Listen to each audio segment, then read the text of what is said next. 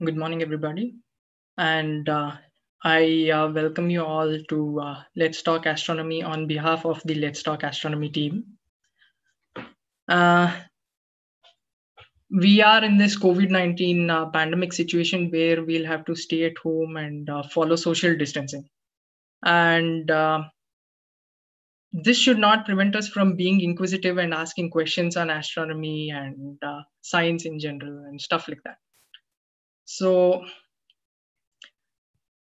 a few of the postdocs and PhD students from uh, India who are working across the world, we got together and uh, we decided that uh, we should conduct these uh, Let's Talk Astronomy sessions so that uh, we will be able to interact with you and we'll be able to take questions from you and uh, answer them. And we'll be able to give some brief overview of what's happening in astronomy and what's the latest research that's going on and things like that.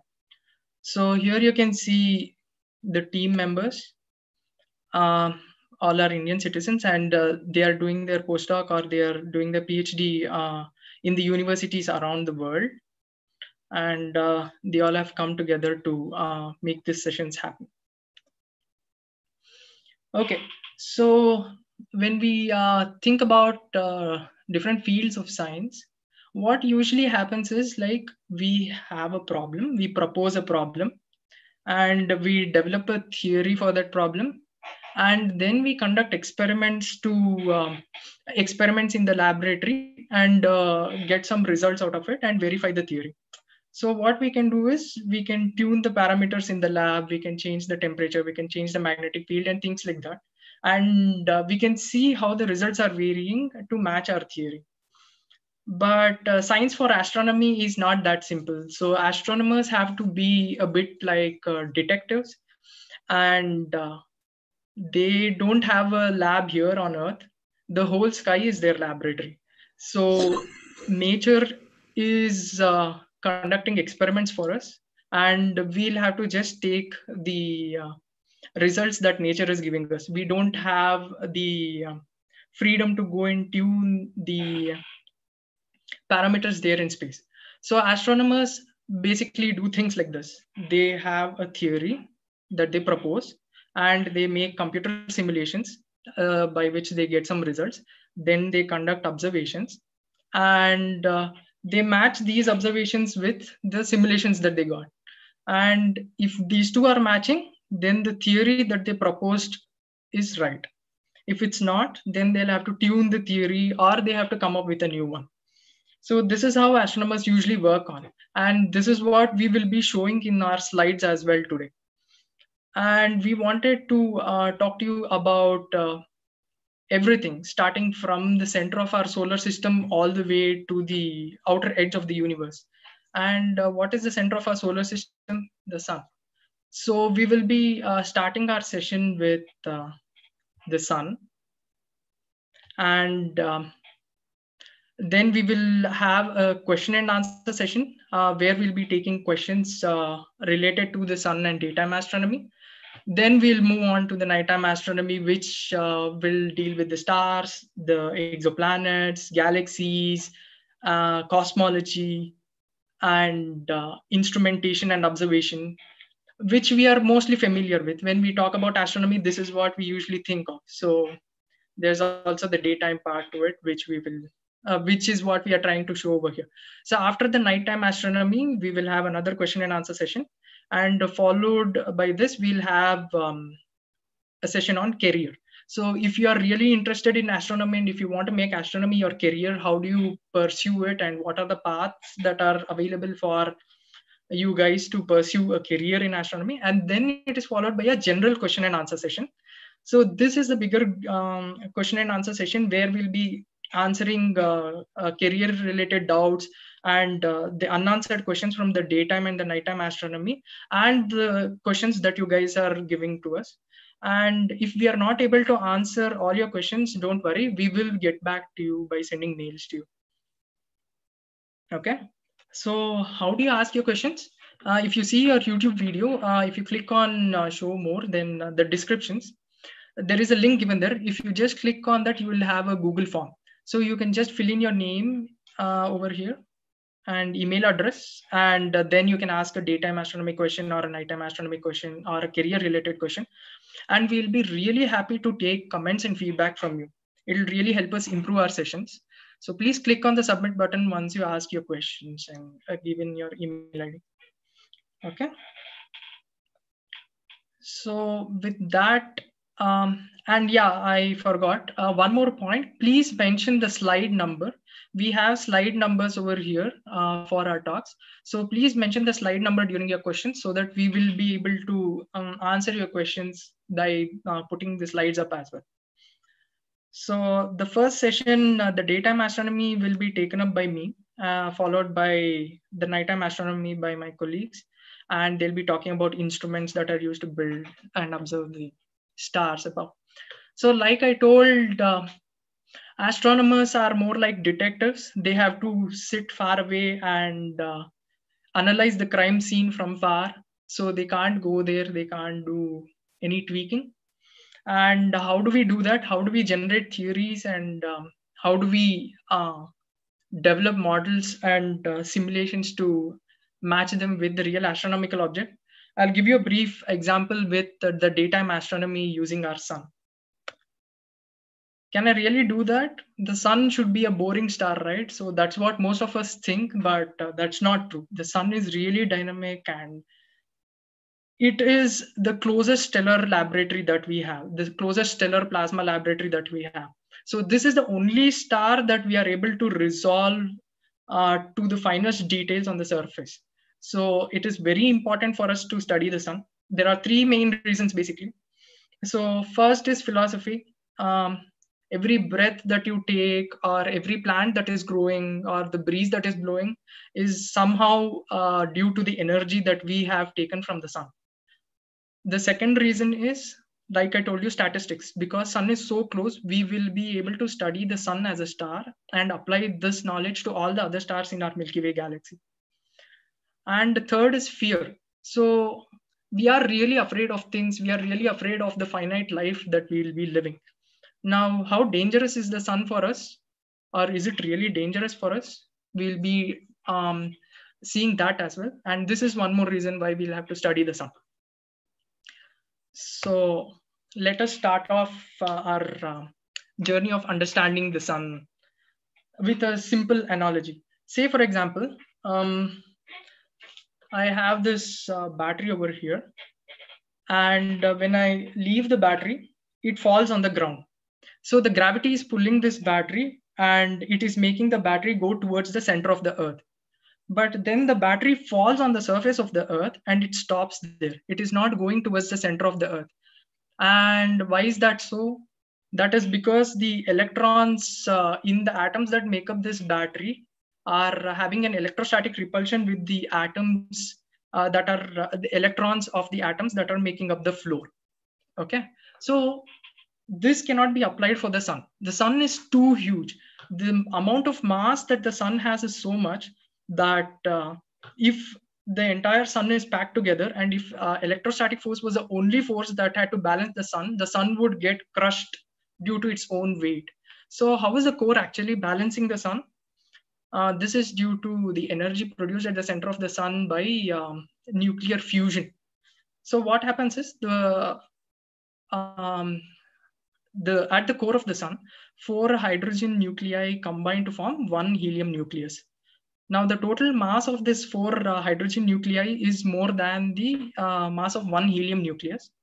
So this missing mass is what comes out as gamma rays and high energy photons of the sun. So what basically is happening is the sun is having a downward uh, force due to gravity and radiation is pushing the sun back up.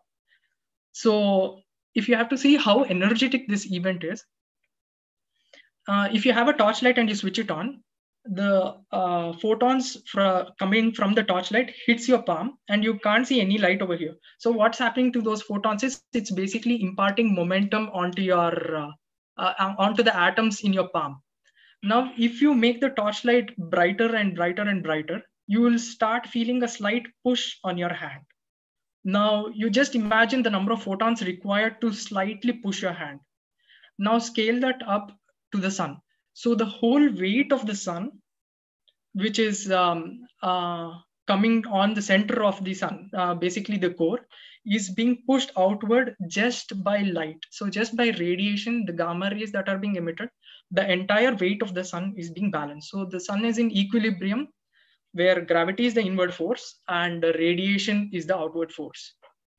So the sun has three layers, uh, the core, the radiative zone, and the convective zone. The core is like what I told you, the energy producing unit in the sun, which will be 15 million Kelvin. So at that temperature, you can have hydrogen fusion. Then you have the uh, radiative zone. So the energy transported in this zone is basically through radiation. Uh, the plasma is so highly ionized that you will have random walk and the photons interact many times before it moves to the next step. Then the outer region is the convective zone. So the convective zone, the temperature drops somewhere from 2 million Kelvin all the way to the surface of the sun, which is like uh, 6000 Kelvin. So convection is what you see when you boil water or when you boil rice. So when you're boiling rice, you can see that the rice grains are like uh, going from the bottom of the pan, they're going up and then they're going down again. So this is due to convection where the heat from the bottom of the pan is taken to the surface. It is dissipated there and it cools down and it goes back. So the same thing happens in the convection zone. Now, how do we know that? I'll be telling you shortly. Before going there, uh, I told that the sun has three layers, right? It has like the convective zone, the radiative zone, and the core. So how do we know that? We have never been to the sun. It's uh, just like how we know the internal layers of the earth. So we have, we say that the earth has a crust, it has a mantle, it has a molten uh, uh, mantle, it has the solid mantle, the molten mantle, and it has the core. So how do we know that? That is because of earthquakes. Whenever there is an earthquake, you have seismic waves generated on the earth that propagates within the surface, uh, I mean, inside the surface and on the surface. Now, this helps us analyze the surface of the, I mean, the interiors of the earth. Now, uh, the sun is so dynamic due to nuclear fusion, due to convection, and uh, due to all this turmoil, you have many frequencies produced, acoustic frequencies. But um, just like your guitar string, when you pull a string, only one note or its harmonics come out. Uh, based on the size of the sun, only few frequencies are amplified. Now, due to this, you have these oscillations on the surface of the sun, which are called uh, helioseismic oscillations. And these oscillations again propagates through the surface of the sun and to the interiors, which you can uh, see over here. And based on this, we have generated the structure like it has the convective zone, the radiative zone, the core. So even without looking at what is there inside the sun, we are able to deduce what the sun is doing. And uh, the sun, we are going to talk about the visible uh, surface where uh, we'll be talking about convection. You, uh, you might ask like, uh, how do you know that the convection zone is the outermost layer? So that is where we'll see the visible surface and please be careful. It's very dangerous to look at the sun directly. So you'll have to wear protective glasses. So when you look at the uh, visible surface, which is called as a photosphere very close, you can see some bubbling action. So these are called granules. And this bubbling action, action, like I told you, when you're boiling rice, you can see rice going up and coming down. It is very similar to that. So that's how we know that the surface of the sun is having convection and um, these blobs are called granules and the size of these blobs might be like almost half the size of india sometimes or like even the entire uh, country of india or even bigger countries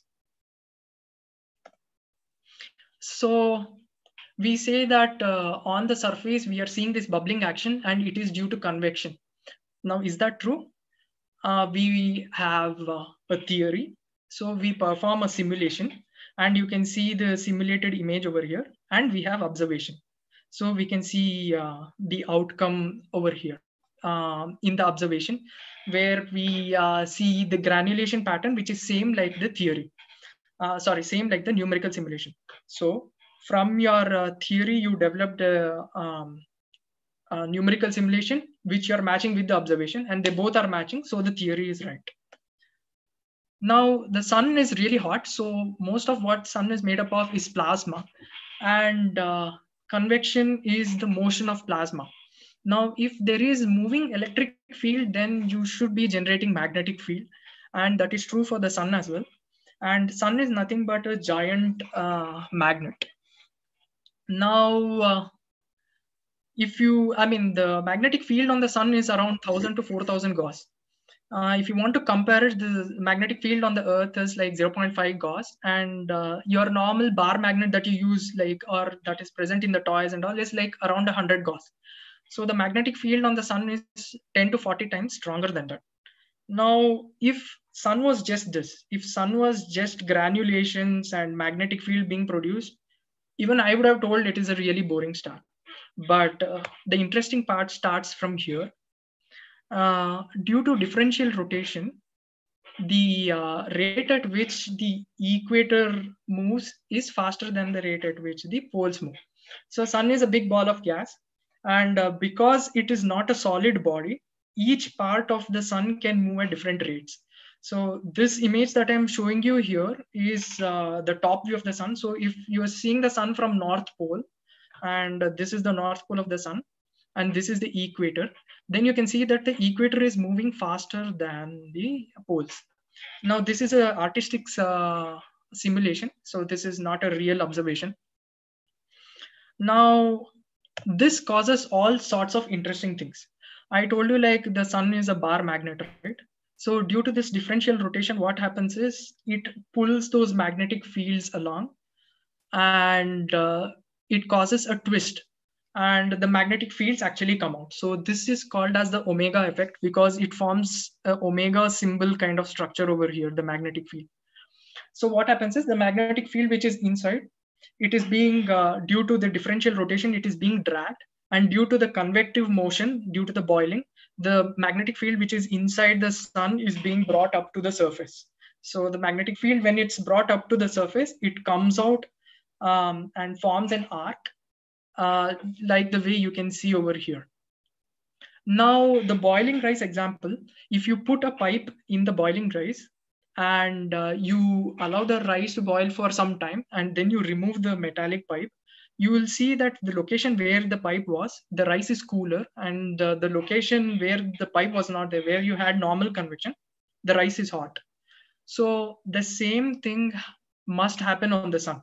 Due to this magnetic field, there is convective flow which is being restricted and due to that there is no heat energy which is taken from the bottom of the surface of the convective zone to the surf, uh, topmost photosphere so it will be cool mm, cooler this region and hence it will, it should appear darker so that is what will be called as a sunspot and here is a simulation on how the magnetic field is coming out the omegas which are formed and the open you can see that the magnetic field lines are uh, opening up over here. These cause some interesting phenomenon, which I'll be explaining.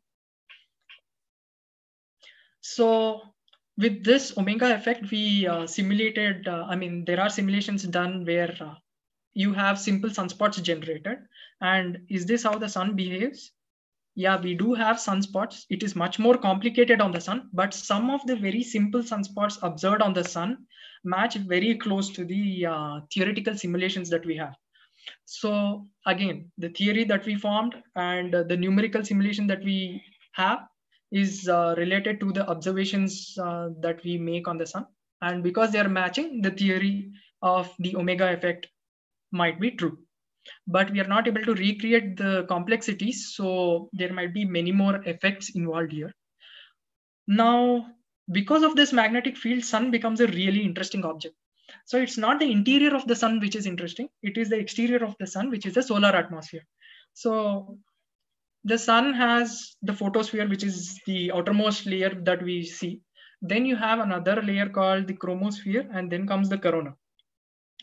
So what is this chromosphere? Chromos uh, means crimson. So when there were lunar eclipses, sorry, solar eclipses that were happening, the when the moon was blocking the sun, we used to see a crimson layer uh, of objects around the sun. So due to this, they called it a chromosphere. And now we know that this is formed due to the hydrogen uh, Balmer series emission and absorption that is happening. And in this chromosphere, we see many features like these filaments. So why is it called a filament? Excuse me. You have a bulb and you have a tungsten filament in it, which is a thin wire-like structure. So if you see that this filament is also a thin structure on the surface of the sun. So it's called a filament. Now, if the same filament is observed at the limb, you call it a prominence. It will look like this. It is prominent uh, beyond other features of the sun. So it is called a prominence. So these are the features that you observe in the chromosphere and the temperature in the chromosphere will be 4000 to 8000 Kelvin. Then above the uh, chromosphere comes the corona. So corona is a few million Kelvin and you have many more beautiful phenomenon happening there.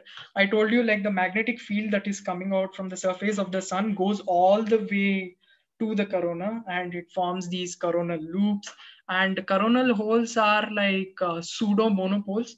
So these are open magnetic field lines uh, from where you have charged particles going out from the sun. Now, if you have noticed, I told that the chromosphere is 4000 to 8000 Kelvin. The corona is a few million Kelvin. And the photosphere is 6000 Kelvin. Uh, to get a better picture, you can see this graph. So the temperature of the photosphere, I mean, uh, once you move from an object which is generating heat, as you go farther and farther away, it should start becoming cooler, right? So once you start moving away from the photosphere towards the corona, it should become colder and colder. So it should be 6000 Kelvin, 3000 Kelvin, 1000 Kelvin. It should go down like that. But if you see this graph, it's going from 6000, it's rising to 8000 and then there is a huge jump and this region is called the transition region. And then you have the corona, which is a million Kelvin. So the temperature of the corona is same like that of the core of the sun. But uh, a simple did you know fact, if you cover the surface of the sun and uh, if you sit on the corona, meaning there is no heat coming from the sun, if you sit on the corona, which is 15 million Kelvin, you will still freeze to death because the uh, the density of the corona is so low. The rate at which you are receiving the heat energy is lesser than the rate at which you radiate out heat energy. But this apart, the corona is still 15 million Kelvin. So how is it possible? There are a few theories one is like the waves. Uh, I told you the helioseismic uh, waves uh, on the sun, which are ever present. So they, uh, I mean, one theory is like these waves somehow dump the energy into the solar corona. This is a theory again. There are some simulations that are trying to be uh, that, that they are conducting and trying to match it with the observation. Then there is another theory um, which is uh, related to the um, magnetic field reconnection. So you have these magnetic fields that are formed on the sun. And I told you that the sun has differential rotation. Due to this, the magnetic field of the sun breaks or forms. And uh, this breaking or forming of the magnetic field uh, releases a lot of energy into space. So you have solar flares which are in X-ray domain. Then you have a coronal mass ejection that is happening, uh, where you have a lot of mass being thrown out. And they suspect that this might be another reason why the corona is heating up. But all these are speculations. So if you can see, coronal mass ejection is nothing but um, a huge mass or chunk of um, plasma that is thrown into outer space. So you can see over here.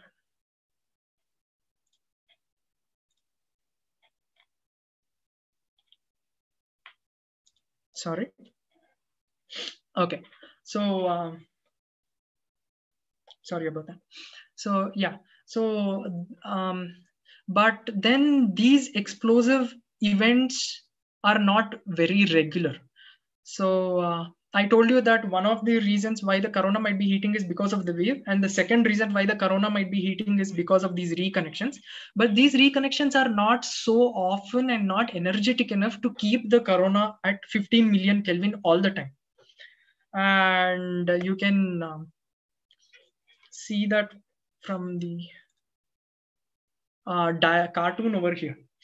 So these energetic events that I showed won't happen all the time.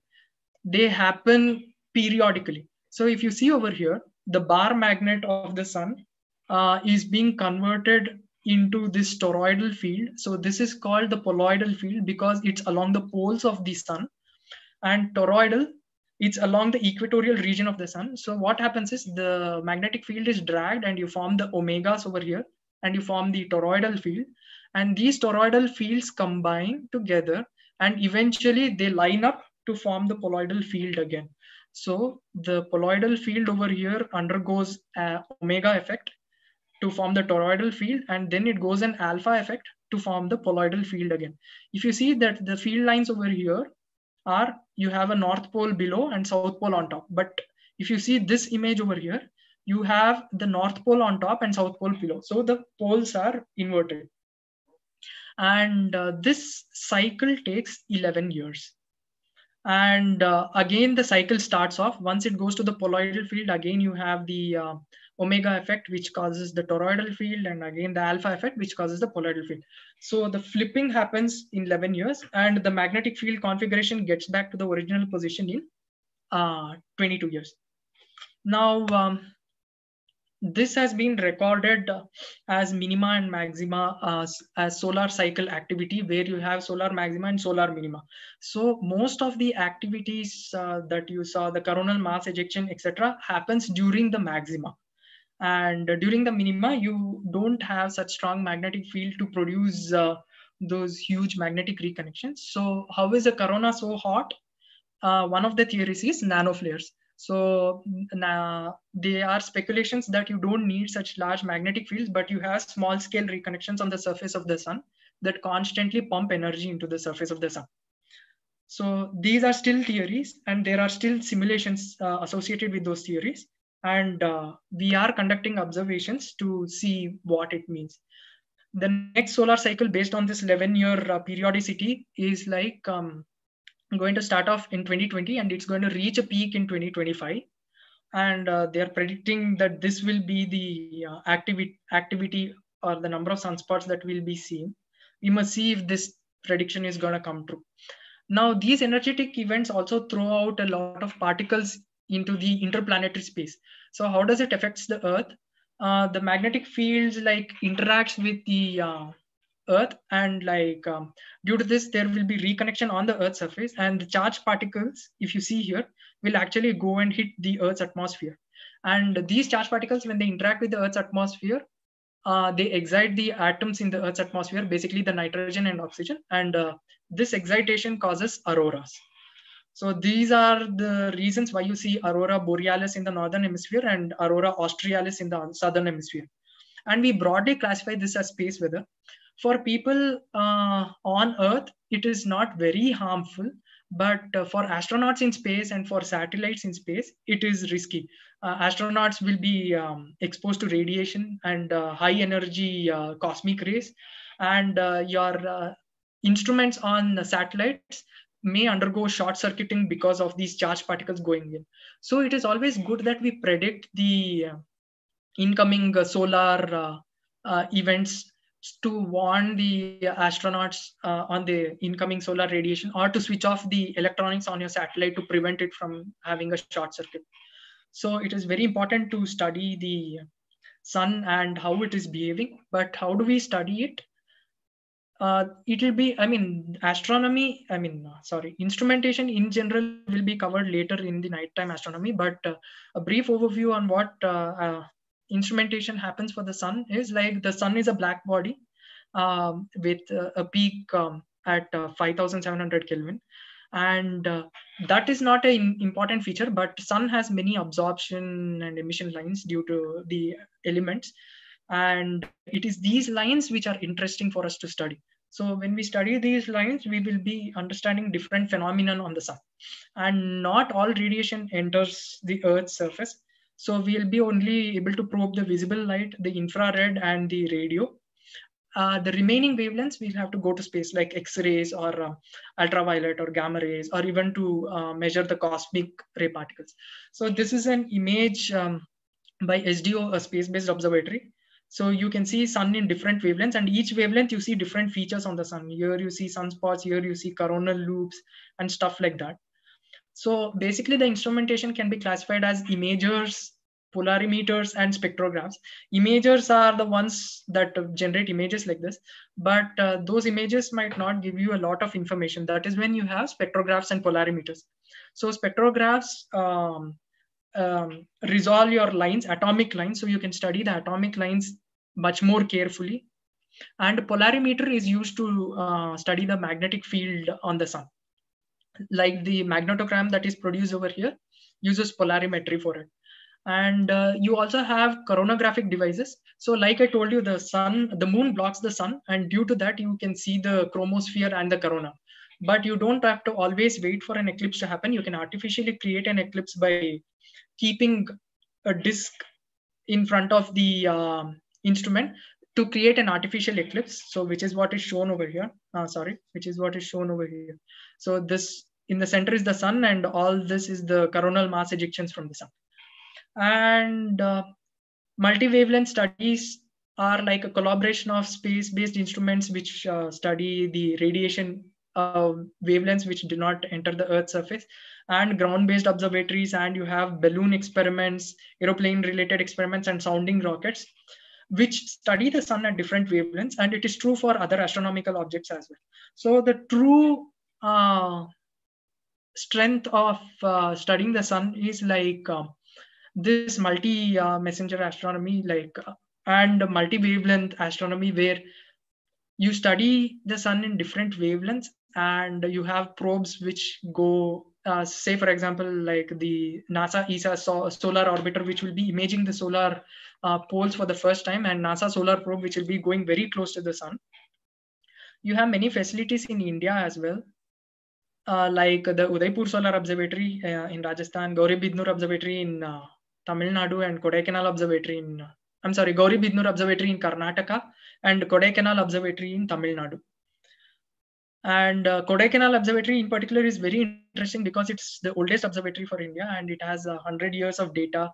If you want to study uh, the features of the sun and like um, different phenomenon happening on the sun, you can go uh, click on this link and uh, analyze the data. You can also see the sunspot cycles that I talked about, the 11 year cycles that happens on the sun. And India has its own space-based mission, uh, the Aditya L1. So this uh, will have seven payloads to uh, observe the sun and it will be placed in Lagrangian point one. It is a stable point between the sun and earth where you can uh, keep the satellite with minimum fuel and you can keep observing the sun continuously. So thank you for your uh, patience and uh, if you have any questions please ask us and before i end my talk i just want to thank somya supriya and uh, other people who helped in uh, producing these um, uh, creating these slides. Thank you.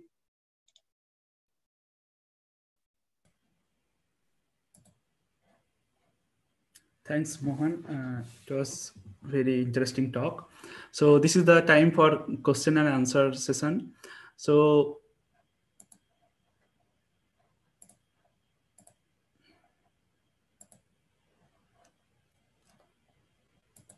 So if you have any question, please uh, write now in this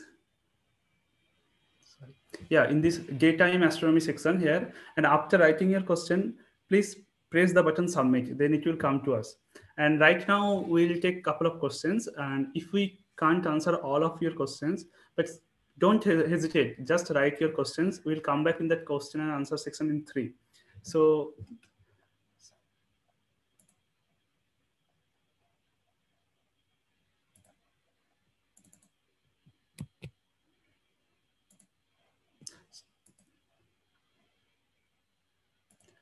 so there is a good questions by um, Kartikeya Chaudhary. Uh, it is uh, for the slide number 20. The question is, does the presence of open magnetic field lines tells about the existence of magnetic monopoles? So Atreya will answer this question. Hey, uh, yeah, thank you, Sajal. Uh, can you put up the slide 20? Okay, um, it's an interesting question, Kartikeya. So um, uh, yes, uh, your observation is good. So uh, we do say that sun has open magnetic fields, especially from the polar regions uh, and uh, some of the places like from coronal holes. Um, however, uh, we know from the fundamentals of electromagnetism and uh, especially the Gauss law that says that magnetic uh, monopoles do not exist. And the del dot B, the divergence, the total flux through a closed surface must be zero. So so having known that, so to answer that, what is this open fields are about? So the current understanding is these field lines, the solar sun is a, as Mohan mentioned, uh, a sun is a giant ball of uh, magnetized plasma, um, which has magnetic fields everywhere. It's a very complex system. Um, so the the the field lines which emanates which we think that it's they are open fields uh, they are indeed they gets connected um, with we believe that it gets connected uh, over a very large distance these um, uh, magnetic field lines they uh, cross across they move across the interplanetary space crossing across uh, various planets and that's that's our current understanding that uh, because that goes against when you say that monopoles exist, then they are uh, against our fundamental laws of uh, uh physics. So currently our understanding is these uh, field lines are pretty long and they are getting connected at some part in the heliosphere. I hope that answers your question. Thank you.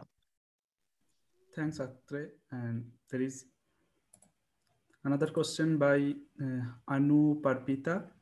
Can you please explain the difference between aurora and air glow? This will take by Shubham. Yeah, uh, yeah, nice question. So, uh, aurorae are uh, when the uh, the polar in, it's uh, mainly seen in the polar regions uh, because the magnetic the particles the charged particles get funneled towards the polar regions of the Earth because of the Earth's magnetic field, and that's when you see the aurora Whereas night glow uh, or air glow uh, is a universal phenomenon. It's not restricted to the poles. It essentially happens when uh, sunlight excites molecules in the Earth's atmosphere, and when they recombine, uh, the uh, the recombination happens and a photon is uh, released. So the, the main component of air glow is comes from oxygen, and that's what causes a faint greenish glow so you won't see it from the cities because the light is dominated by uh, light pollution. But if you go to a remote site, and especially if you do astrophotography, you will see a, a faint greenish glow in your image, and that is air glow. Thanks. Thanks, Shubham. Um, there is a question by uh, Adesh Thawale. Uh, it's about sunspot. Sunspots usually have a dark region surrounded by a lighter region as seen in the photograph. Why is it so? So this question will take by Atre. Yeah, thank you. Um, yeah, it's an interesting question, Adesh. It's a very nice observation from the uh, images which uh, Mohan showed it is indeed interesting. So you see the sunspots appear darker. So these are all again the photospheric, which is the visible surface which you see. Um, uh, these are all the regions where um, the average temperature, which as Mohan covered, the photosphere is the visible surface, the temperature is around 5000 to 6000 Kelvin. Uh, whereas these regions where the magnetic field is more concentrated, which suppresses the convection, uh, that means the heat uh, reaching up to the surface is suppressed. So because of that, so these regions appear, these regions, the temperature of these regions are relatively uh, less compared to its surroundings. For example, the uh, the the temperature around these uh, inside these sunspot regions would be of the order of 3000 to 4000 Kelvin as compared to the temperature which is in the surroundings which is around uh, 5000 to 6000 Kelvin. So when you look at it in the contrast, so which is the temperature map or temperature is nothing but the black body emission, the, temp, uh, the light which is coming from that. So the light which is coming from these regions would appear uh, less intense compared to the surroundings. That's why they appear dark in the images. So again, uh, yeah, thank you for the question. I hope this answers. Thank you. Thanks, Atre. Uh, there is another question by Gauri Krishna. Gauri Krishna. Uh, will sun would end its life as supernova? So this question will answer by Shubham. Yeah. Uh, yeah. So uh, you will learn more about this in the stellar part of the talk, which follow, the, which is going to follow. Uh, but the short answer is no. The sun is not going to end its life as a supernova. And the reason is it's not massive enough, uh, and so eventually the sun will. Uh, currently, the sun is uh, in what we call as the main sequence, where it burns hydrogen in its core and uh, once the hydrogen is extinguished, it will uh, transform into a red giant. And finally, the core will shrink to a white dwarf, and that will be the end of the sun's life. Thanks. Mm, thanks, Subham. Uh, there is another question by Bishwajit, Bishwarajit, sorry. Uh, if sun have magnetic field, why coronal mass ejection occurs.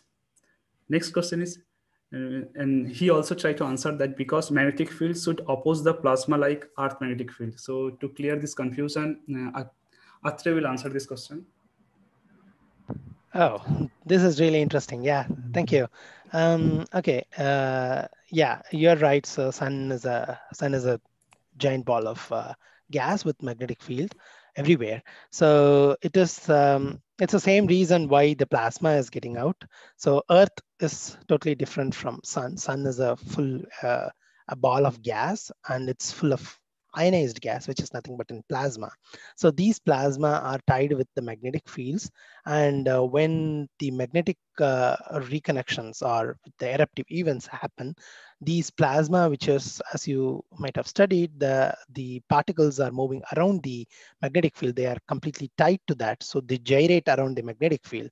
So what happens when uh, severe eruptions happen, these particles, which are accelerated uh, uh, in these magnetic fields, and they are getting thrown thrown out into the interplanetary space and uh, which is way different from uh, the uh, way with which the earth's uh, magnetic field works. So here, because the uh, the plasma is there inside the sun itself, and that is what is moving around with this uh, magnetic field, which is getting ejected.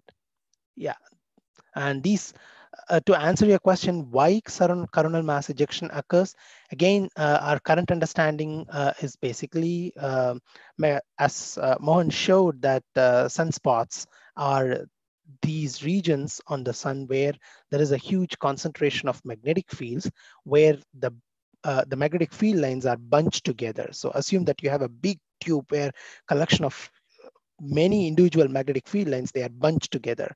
So when you have such a bunch and uh, imagine that each bunch has uh, lots of plasma which are moving around, they are tied to that.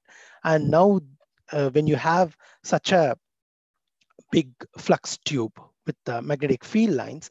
And what happens, it's like, uh, along with that, imagine that it's a, like a rubber band, bunches of rubber band, and they are going uh, as uh, clearly uh, Mohan showed about the sunspot uh, uh, formation, how the shearing happens, the differential rotation.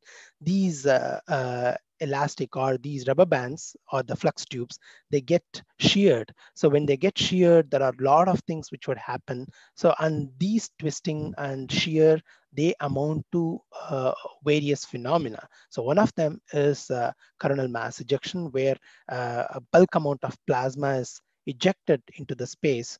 And uh, some of our understanding uh, points to uh, having reconnection or magnetic reconnection where uh, two magnetic polarities they come close together and they short so the uh, when you have such phenomena occurs on the solar corona uh, it releases all the particles or it releases the energy which is stored. It basically like you keep the magnet, uh, if, if you keep the rubber band, it is growing up and up and up, and then suddenly you release it when it the amount of energy which is released, which you feel it on your hand, it's similar to that, how the energy is dissipated during coronal mass ejection.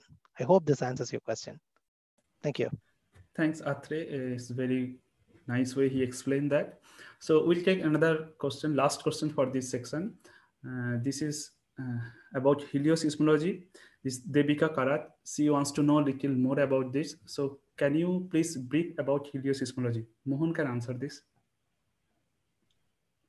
Uh, hi, that's a nice question. So, like um, I told in my talk, if uh, I can share my slides real quickly. Mm, just a second. Yeah.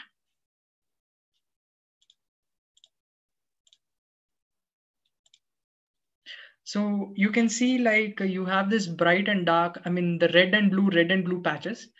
So the red patch can be considered to be um, the peak and the blue patch can be considered to be the valley. Now the rate at which these red and blue patches occur is the frequency at which these uh, waves ge are generated on the sun. So I gave you the example of the guitar string. So if you pull a string, it generates a particular frequency and its harmonics. Now, this frequency and harmonics are dependent on the thickness of the string, the length of the string, and where you the uh, where you place your finger, like while you're playing the guitar. Now, similarly for the sun, based on the size of the sun and based on its density, there are only certain frequencies that get amplified and that get sustained on the sun, and all the other frequencies die. So when you have this convection, you basically generate all the frequencies but only those frequencies which are closed, which forms this closed loop survive. So that is what you see here on the surface of the sun. Now, these frequencies are, I mean, these waves or these modes travel throughout the sun on the surface, inside the surface, and everywhere. So if you have a mode that is generated here, you will try to see how long it takes for that mode to propagate to the other end of the sun. Now, based on the density of the sun and based on the inter internal contents of the sun, this wave can travel fast, it can travel slow, it can split into two parts. So using this, we will be able to map what is inside the sun. Um, another crude example is like uh, how BAT uses echolocation to see the objects around it, like to see the prey around it. So it is similar to that. So you use um, sound acoustics, you use seismology, basically waves to see the internal structure of the sun. I hope that clarified your doubt. Thanks, Mohan. Uh, now we'll shift to nighttime astronomy section. So student, please write your any questions and submit it and we'll get back to you in uh, third section of question answer section, okay? So don't hesitate. So now it will go to nighttime section.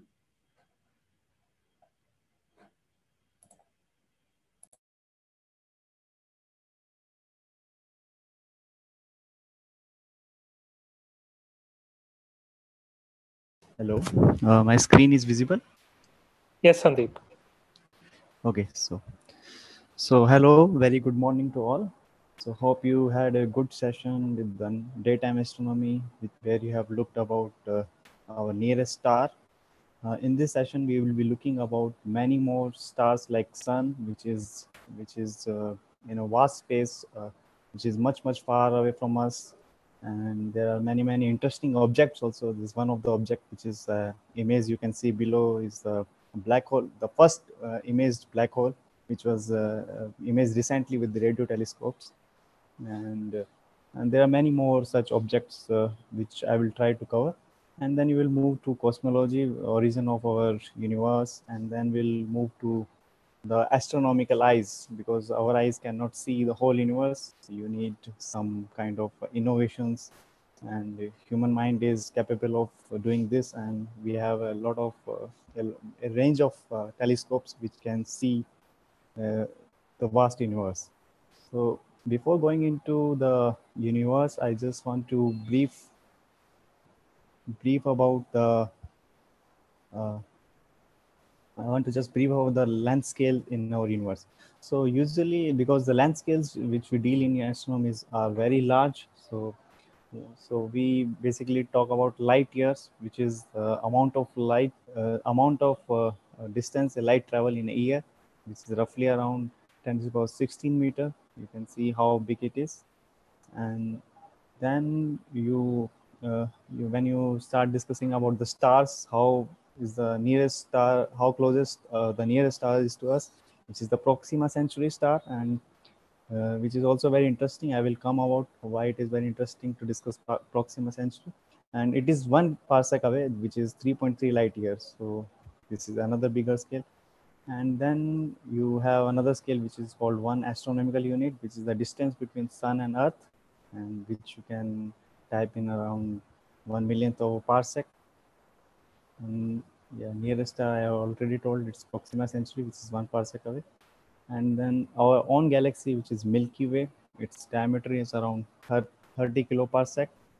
And uh, our sun is, uh, as we have seen in the previous talk, it's around 8 kiloparsec from the central region. And I will come to more about Milky Way. Uh, and then our sister galaxy, which is uh, like our uh, similar to the mass and size ranges of Milky Way is the Andromeda galaxies, which you can see with the naked eye also. If you are uh, having clear sky, if you are luxury of this, having clear sky, if you are not in cities, it is around one megaparsec. And then all these galaxies uh, make a system which is we call super clusters um, and Virgo cluster, which uh, which we are a part of. They are of 30 megaparsec sizes. So you can see that uh, we have humongous sizes. And then uh, we would would like to, and our uh, observable universe, which we see is 30 gigaparsecs. And you will hear more about our universe in the cosmology section, which will be discussed by Swagat. And then uh, because the distances are very large, so it is, uh, it is also an uh, challenge to measure it correctly because you don't measure distance correctly, then uh, you will not be able to gauge the uh, vastness of our universe and the, even the objects also we will not be able to uh, decipher correctly. So there we have a standard candles like uh, uh, we have a, uh, standard of standard methodologies from which we can get the distances. So for small distances up to 10 around one, one tenth of the uh, uh, one ten to the minus five parsec range, which is you measure with the radar, which is kind of in our solar system, or so we it's it's very small distance. And when you want to measure the distances in the our galaxies, when you want to know the distance to a closer star, then you use the parallax method. It's like uh, uh, how the star moves. You just measure at different times, and you gauge the how it has moved, and you you can determine that how far it is from. It's just the perpendicular movement. From the perpendicular movement, you can get this distance. And then from uh, stellar evolutions, uh, which we understand uh, uh, uh by little amount, we can get these uh, distances up to 100 kiloparsecs. And then there are special kind of stars, which are called Cepheid stars, which can measure further distances and then you have another method to distances distance up to gigaparsec which is around 10 is about 9 parsec. We have by dwarf supernova type 1a and there are another relation which relates the uh, light of a galaxy to the to the rotation velocity of galaxies.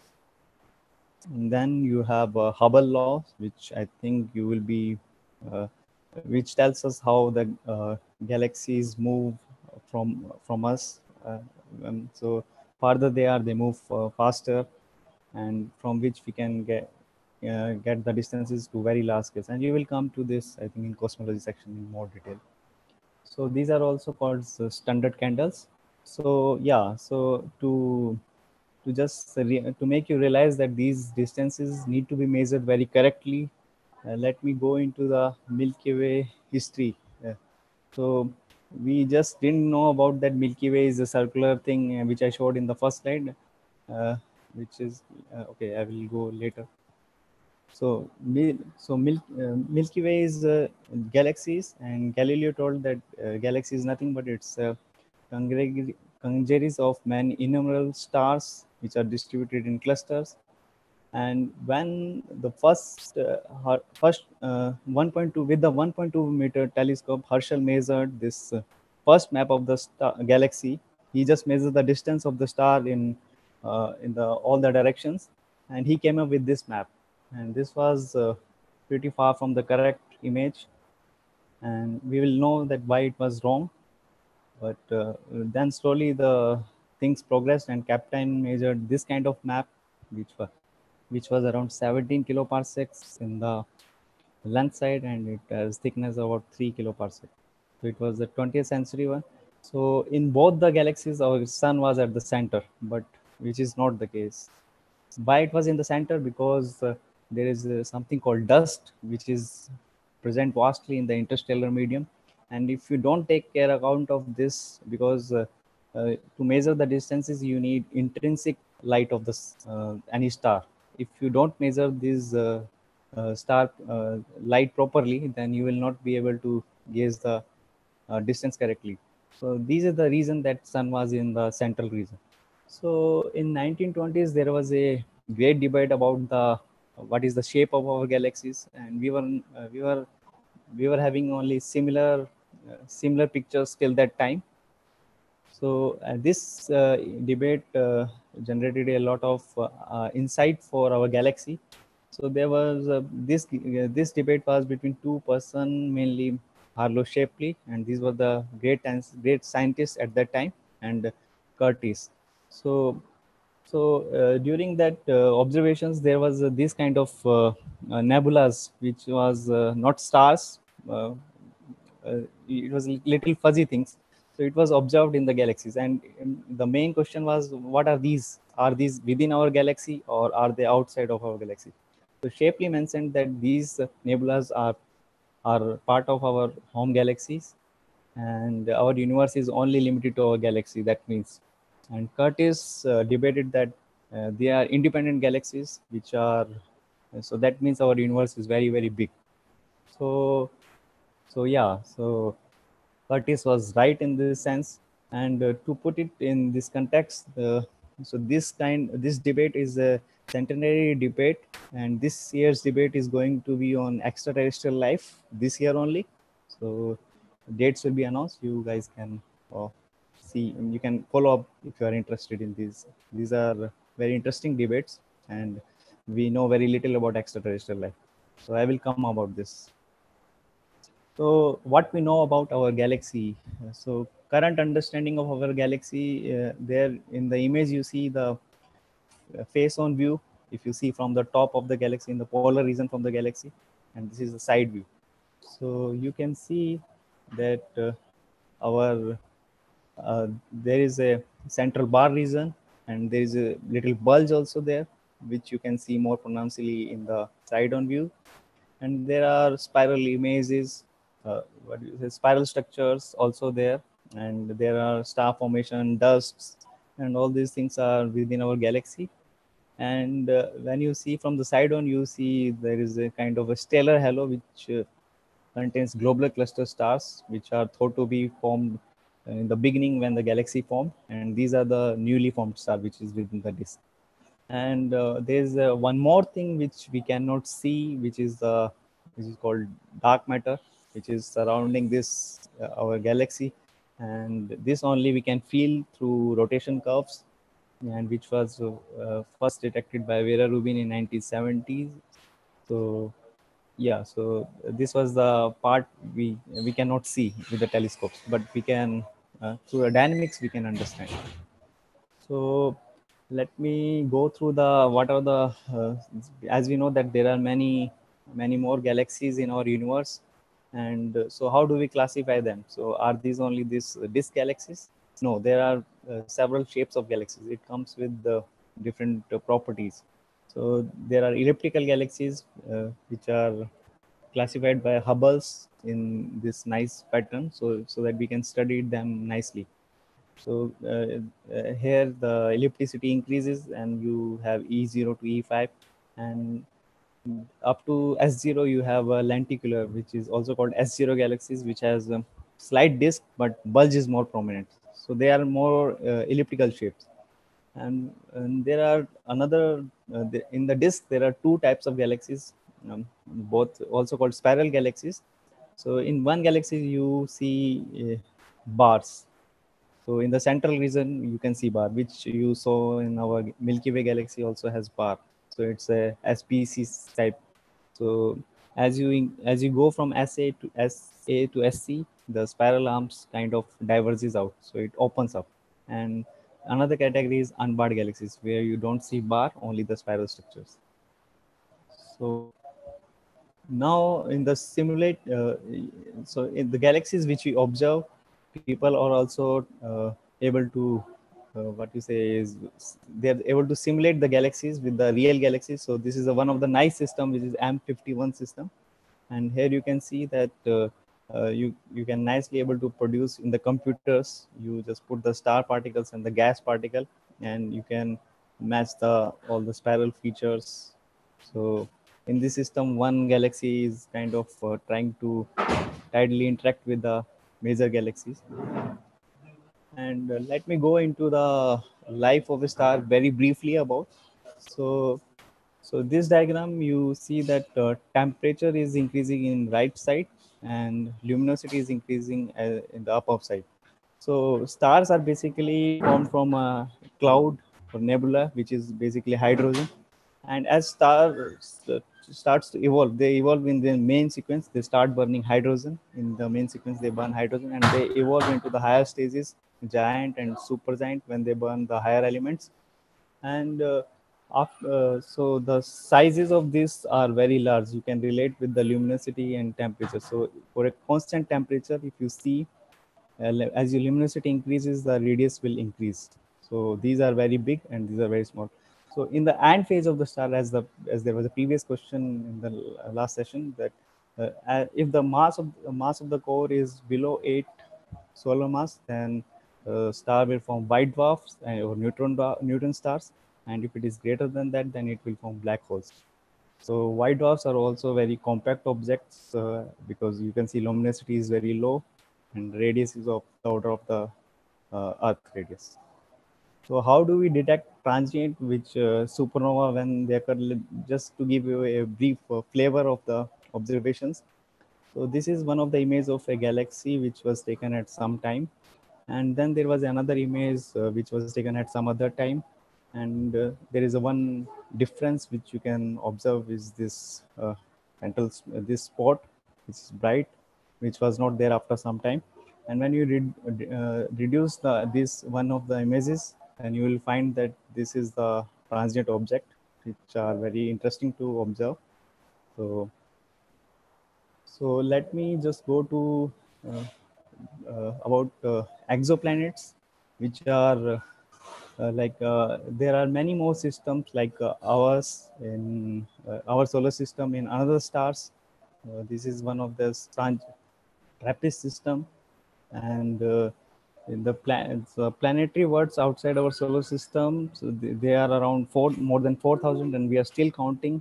And how we detect them there are many uh, there are very interesting method. One of the method is the transient method in which like when a planet is rotating around this uh, star then there is a slight uh, dip in the uh, luminosity of star. Because of that you cannot uh, you cannot uh, uh, you can just kind of observe this. And there are many more many more these kind of methods which are radial velocity and direct imaging. And there is a recently observed star which is the which is uh, Proxima Centauri, which uh, which is very close to us. And uh, day before yesterday, there was a, a discovery of Earth-like planet, which is you can follow up. It's very interesting to see. And there are uh, other uh, other uh, interesting objects in our night sky, which are active galactic nuclei. nuclei. And I will just go very fast because of shortage of time. So, so these are the objects which uh, emits a lot of uh, uh, what you say jets in very large distance, and they are very luminous around 10 is power 15 times uh, sun luminosity and they radiate in all the wavelengths which is from radio to gamma rays and they are also variable. And they are also so different uh, radio different wavelength has different formation mechanism synchrotron in, inverse compton and thermal emission. So there is also something uh, interesting in this uh, uh, black hole merging events or neutron star merging events which we call multi-messenger astronomy because it's a very new field originated after 2015 the first detection of the first detection of this uh, merger of two black holes which was a which was a kind of a new window to our uh, our observations. And this is uh, the one of the event observed in 2017, which show, which gave us idea about the that these are these are not only observed in the uh, what you say gravitational waves, but they are also observed in the electromagnetic spectrum, which was also seen. And this is the electromagnetic counterpart of this gravitational wave, and uh, so this gives us a lot of insight of formation of higher elements from uh, uh, iron. So uh, the elements heavier than iron can be formed from this these processes. This was confirmed and uh, there are very other there are many more questions in the this uh, uh, this field which are how galaxies formed and evolved. And then you have how the transient events like fast radio burst occurs and what causes them. And how do binary star evolves and is there any habitable exoplanet? And uh, how the intermediate black hole mass forms. So these are the questions which are still unanswered. I think um, these are uh, Uh, things where we can contribute more okay so now I, we will move to cosmology section so i will ask swagat to join.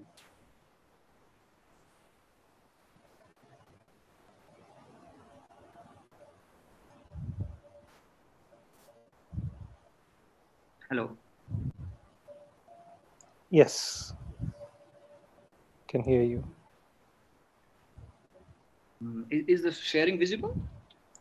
Yes, it's visible. You can make it full screen. Yeah.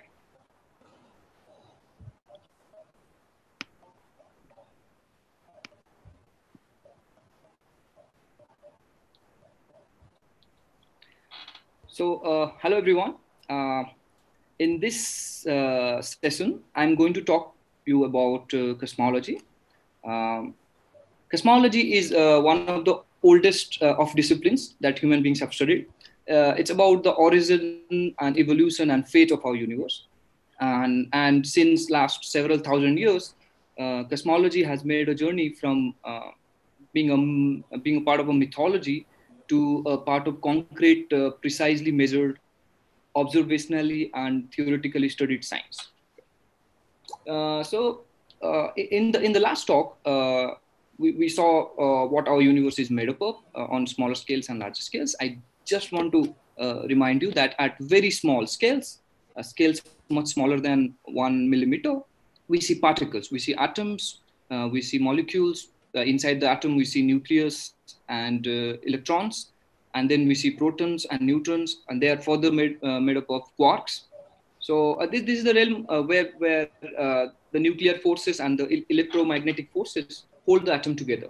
Okay? So the, these, these systems are held together by, by these kind of nuclear forces and electromagnetic forces, and we apply quantum mechanics or quantum physics to study it. Uh, similarly, if you go to uh, large scales, scales greater than thousands or ten thousands of kilometers, you see planets, solar systems, stars, um, stellar clusters, globular clusters, galaxies, clusters of galaxies, and then whatever it means to say the entire universe.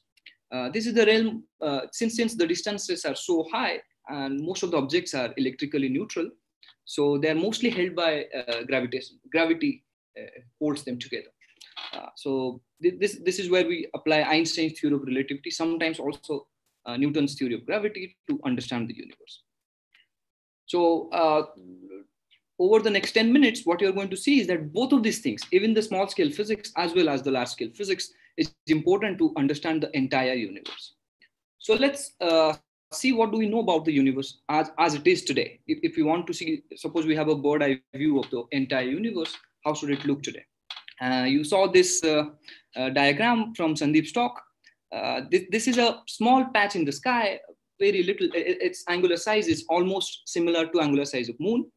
And so in, in a small patch, if you focus your, a good telescope, right, like a Hubble Space Telescope, uh, and expose it for several hours or several days, what you're going to see is about 10,000 or more galaxies, even in a small patch. So it seems like the universe is a, is a swarm of galaxies. Okay, now if you zoom out a little more and see it in a little more bird eye view, uh, what you're going to see, suppose you look in two diagonally opposite directions, you're going to see this kind of dotted net-like structure, okay, uh, where you see a lot of dots and then you see a lot of gaps, black color gaps. Each dot here is a galaxy. Okay, so this universe looks like some kind of a, uh, a spider web, a three-dimensional spider web, uh, which has uh, clusters, clusters of galaxies, which has gaps, which are voids, and then there are some filamentary structures. Uh, you can see it better in the next diagram. If I zoom in a small part, uh, if I take this and zoom in a very small part of uh, this, this spider web structure, then I'm going to see like this. Here, each white dot is a galaxy, and then you can see there are some voids, okay, or empty gaps. So this is how this is how our universe looks today. If, if we could see it in a bird eye view. But uh, is it is it the case that universe always looked like this? Uh, the answer is no. The reason is because of the following.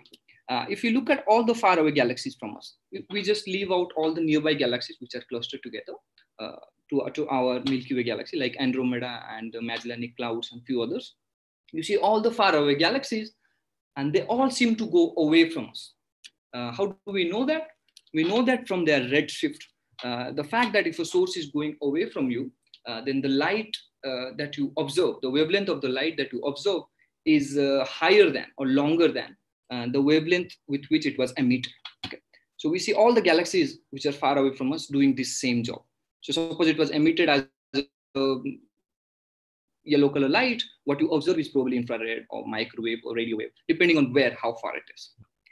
So in, in fact, this was observed first time by Edwin Hubble in 1929, but this was a generic prediction of Einstein's theory of relativity.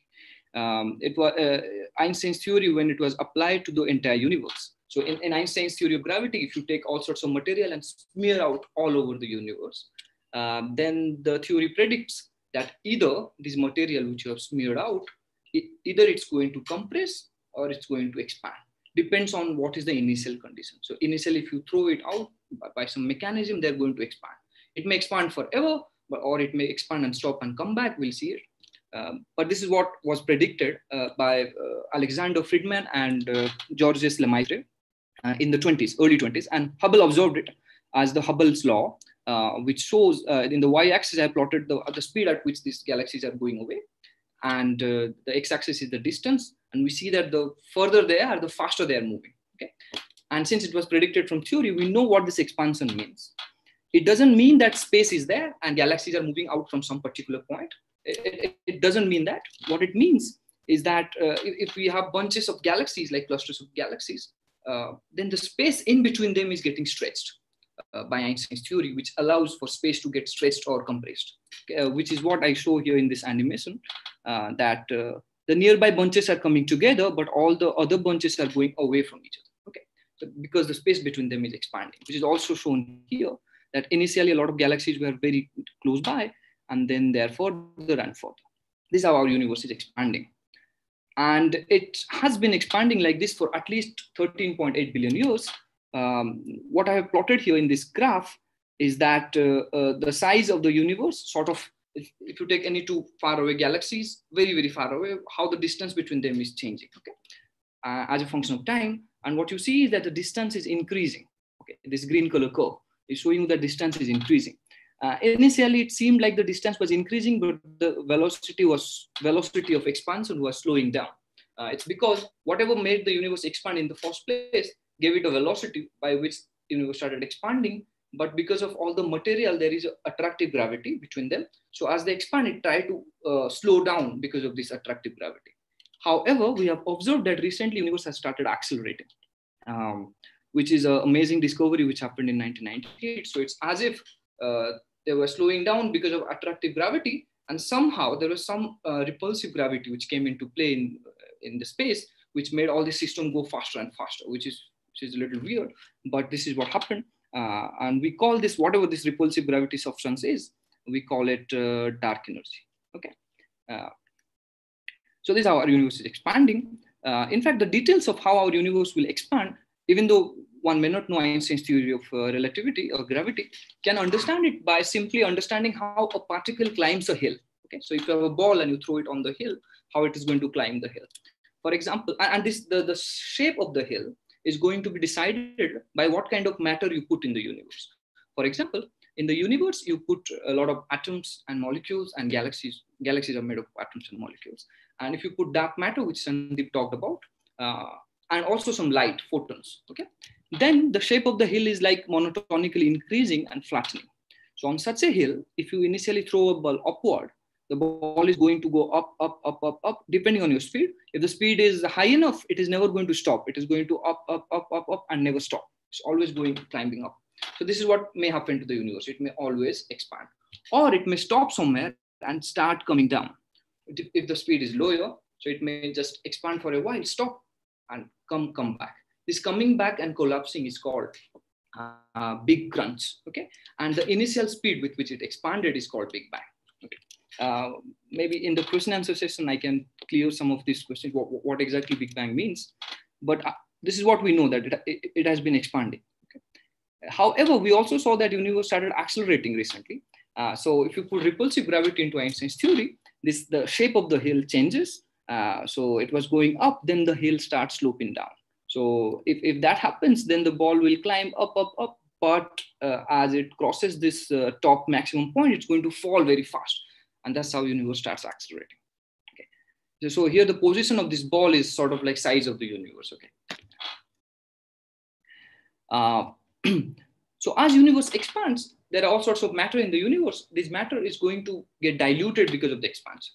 Okay. In particular, uh, radiation, which is photons mostly. Uh, in the early early times, also neutrinos were also like radiation. Uh, they fall off as the size to the power fourth, one by size to the power fourth.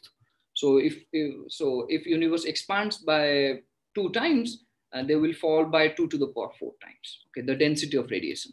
While the density of uh, matter, including dark matter and galaxies, is going to fall as one by size to the power three. But the density of this uh, repulsive gravity substance, whatever it is, we call it dark energy, is sort of almost like a constant. Either it is exactly a constant or it is almost a constant. And so since it remains almost constant, it's going to dominate late, late in the universe. So that's why today we see that universe is being dominated by this repulsive gravity and it has started to accelerate. Okay. Uh, if this theory is correct, if, if we can trust Einstein's theory, whatever it is predicting, then what would happen is that if you go back in time, all the galaxies which are far away today will be close to each other. So universe will be extremely hot and dense and in a extremely hot dense plasma state. Okay, all the galaxies will be on top of each other, and the temperature will be so high uh, that uh, universe would not exist in uh, neutral atom state. All the atoms will be ripped apart from the nucleus, and all the electrons the electrons will be ripped apart from the nucleus, and they will be moving around in the universe. So the, the whole universe would look uh, something like interior of our sun. Okay, you saw the talk on sun. It's a plasma. Our universe would also look like a plasma, but everywhere uh, in the universe. Okay. So if this is true, then plasma traps light. That's why you cannot see the center of our sun. So if light gets trapped inside this uh, in the universe, it is not able to travel much because it's hitting the electrons all the time. And then universe was opaque. Okay, so you can't see very far. It will be like a fog, very dense fog. But it was expanding. So as it was expanding, it will cool down. Slowly, the temperature will go down, and electrons will start uh, moving around protons or nucleus and then slowly atoms would be formed. Once the atoms are formed, then light can just pass easily. Uh, you can see me even though there is air in this room because light mostly pa passes unaffected through atoms. Uh, so then for the first time, light could travel in the universe. Okay. So this first light, uh, which is usually called as rem remnant heat, heat from the uh, from the hot Big Bang phase, this plasma phase is called hot Big Bang phase. Okay. Uh, so we should be able to see this light. And since it came from a lot of uh, collisions with electrons before it started traveling, it should also be a black body radiation. Such a prediction was made in uh, 1940s by George Gamow and his collaborators. And it, it was uh, discovered uh, accidentally, sort of, uh, by uh, two radio engineers, uh, Penzias and Wilson in 1964, for which they were awarded the Nobel Prize. So, uh, so this light, when it was emitted, it was very hot. Like told you, it was like interior of sun. So it was more than 3000 degree of Celsius.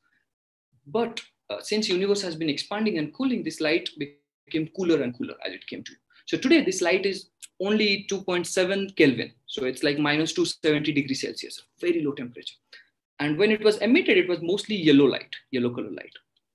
But since we know as universe expands, wavelengths get stretched. So this yellow light became microwave light. So we see it as a microwave background light coming from everywhere in the sky. And it fits a perfect black body radiation. This uh, solid curve is a black body radiation curve from theory, and these dots are data points. Okay? So this was verified. Uh, much later, uh, th there was a COBE mission. It's a satellite mission in the 90s, uh, which looked at all directions in the sky to see if, if the temperature is same. And uh, up to four digits uh, in decimal places, if you measure the temperature, it's 2.7255 Kelvin. So the whole whole uh, sky would look a particular color. This green color doesn't mean light would look green. It's microwave. Just just the color says the intensity of light in different directions. But if you have a better resolution camera, uh, which can see up to five digits, then you are going to see some temperature variations. There are three different missions. You see the last mission on the right Planck has even better angular resolution. So you see. So what you see is this blue and red and green, whatever the spots colors are, they represent cold and hot spots. So there are some spots which are cold, some spots which are hot. And the difference, temperature difference between them is uh, in the fifth decimal place. So it's the temperature difference is probably 0.00001, which is pretty small. So it's almost smooth universe early times, but there were small uh, differences from here to there. Uh, so uh, and we also saw today. So this was in the past. Um, this universe must have, from this hot dense plasma phase, must have cooled to form today's universe, which is this clumpy uh, spider web-like structure. So how did this structure form? Initially, uh, we saw these temperature fluctuations uh, in this cosmic microwave background sky, which means there were temperature fluctuations in the plasma. So as the plasma cooled to form neutral gases, the neutral gases would initially have these uh, small fluctuations at the, and they start in the first left-hand side box as small fluctuations. And if you leave these fluctuations to evolve under gravity, gravity is wherever there was a little high density, gravity is going to compress it over the period of 13.8 billion years to form the today's clumpy uh, structure, the web-like structure. Okay? So it's gravity which forms the structure, but it requires uh, yes, uh, this is true, but only thing is it requires an extra ingredient, which is dark matter. Because if I don't put dark matter uh, into the universe, it is not going to be this clumpy by 13.8 billion years. So you need something like, so what is a dark matter? A dark matter is a substance which is probably made up of some particles and uh, they, they, they don't mostly interact uh, uh, with light. Their only job is to just get compressed and clumpy. So they form some kind of a skeleton of the universe, which helps the universe to get clumpy over the period of time. Okay. So this is the story of the structure of the universe. There were tiny fluctuations in the early universe. They were amplified by gravity with the help of dark matter. And over 13.8 billion years, they formed the structure of galaxies and spider web. The spider web is called a cosmic web, by the way. So there is another question. So what formed these initial fluctuations in the in the universe? Why were there these initial fluctuations, temperature fluctuations, which I showed you? Uh, we don't know for sure what it was. All we know is this was due to quantum mechanics, and our best scenario is called cosmic inflation, which came before this hot dense plasma phase. Okay, so before this hot Big Bang phase, there was a phase in which universe had mostly uniform energy. There were no particles, and this uniform energy was making the universe expand at an accelerated exponential rate. And this is somehow related to uh, the, the quantum mechanics, quantum physics acting during this phase is related to how these fluctuations are created. Maybe I can talk about it more in the uh, question answer session. Okay, so, the, so as universe expands, the relative uh, composition of the universe is changing, as I showed you, because uh, radiation fall at a different rate, matter fall at a different rate, dark energy is almost constant. So today we see almost 68% of dark energy and sort of 30, uh, 27% of dark matter and 3 4% of normal matter. Uh, while if you go back about uh, uh, about uh, 13 billion, 13.8 billion years ago, uh, when when the age of the universe was probably few hundred thousand years, what you will see is that there was mostly matter, almost no dark energy, and some amount of radiation and some amount of atoms and neutrinos. Okay, and if you go back even further to a time when universe was sm- smaller than or age was smaller than uh, 60,000 years, then universe would be mostly radiation dominated. So our universe was sort of, I wouldn't say started off, but in very early times, it was made up of mostly radiation. Uh, and as universe expanded, radiation density fell and it, it was matter dominated for a while. And then now it is dark energy. uh, so I, I'm going to give you a take home message from this talk. Uh, the take home message is that our universe has a history. It's an evolved evolving universe. It's not static. Exactly 100 years back, we did not know this fact.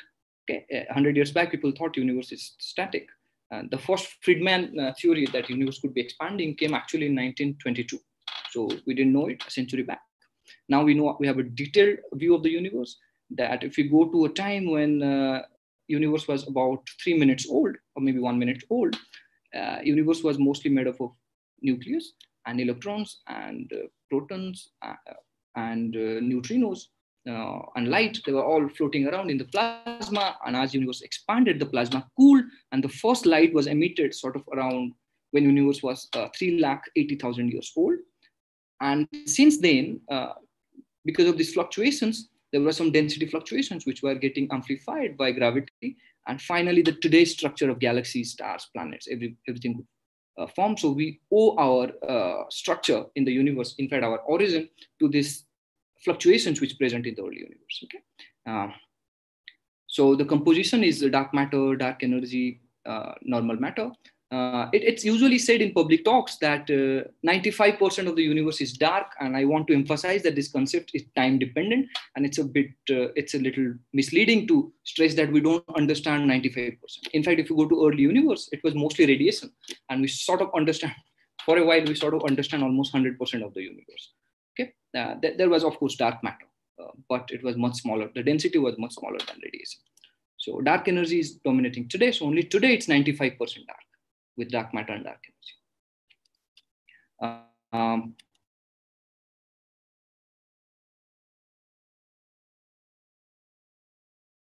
in 60s, cosmology was not a well respected part of uh, science. Um, cosmology, uh, Lev Landau was a Nobel laureate, considered that cosmologists are often in error but never in doubt.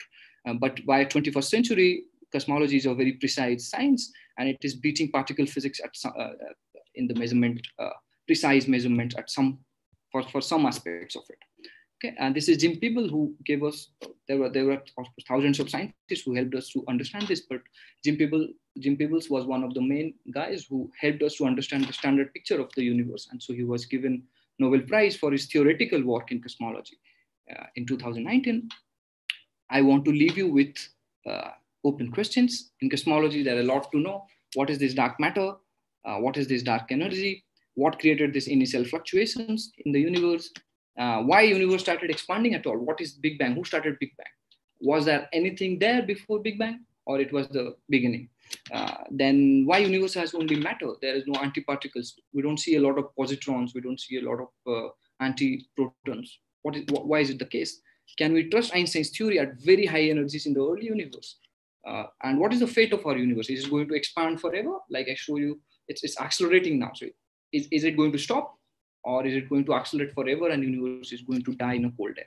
So these are things to uh, uh, think about in future. Thank you.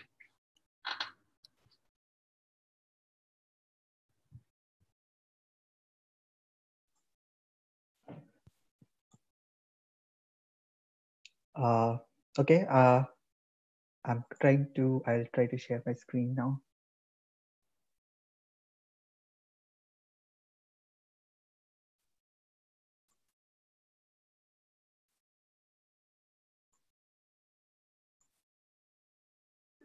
Uh, am I audible and is my screen visible?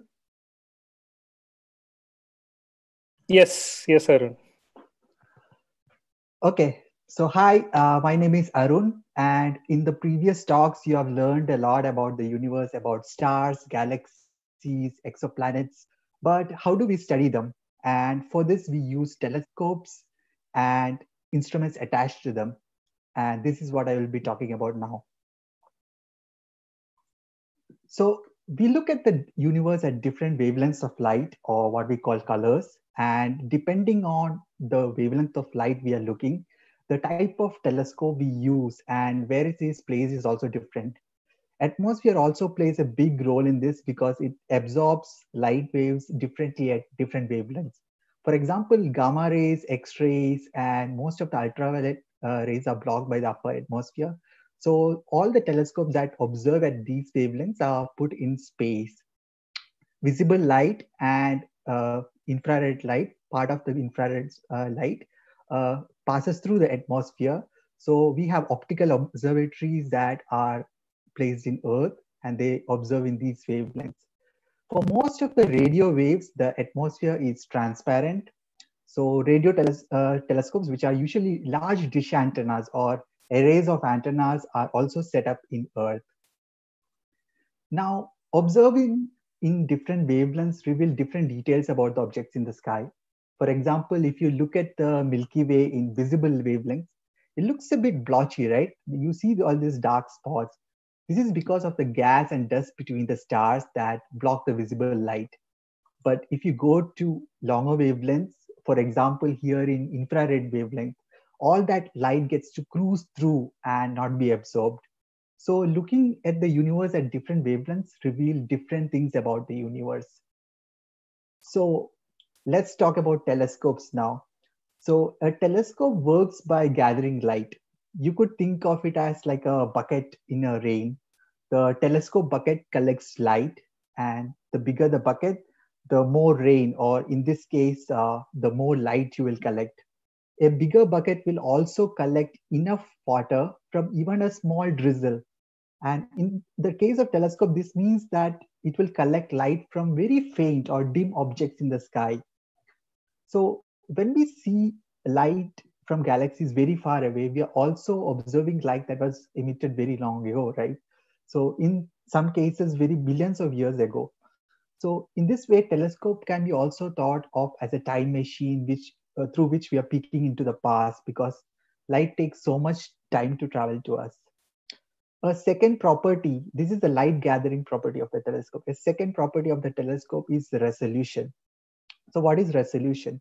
So it is the ability to resolve or separate the details in what we are observing. So this image on the left is two light sources which are very close to each other observed by a smaller telescopes and we cannot uh, like distinguish these two spots but when seen through a larger telescopes as seen in the right you could distinguish these spots so this is the uh, property of the telescope called resolution and both of these properties the light gathering property and the resolution both increases with the size of the telescope.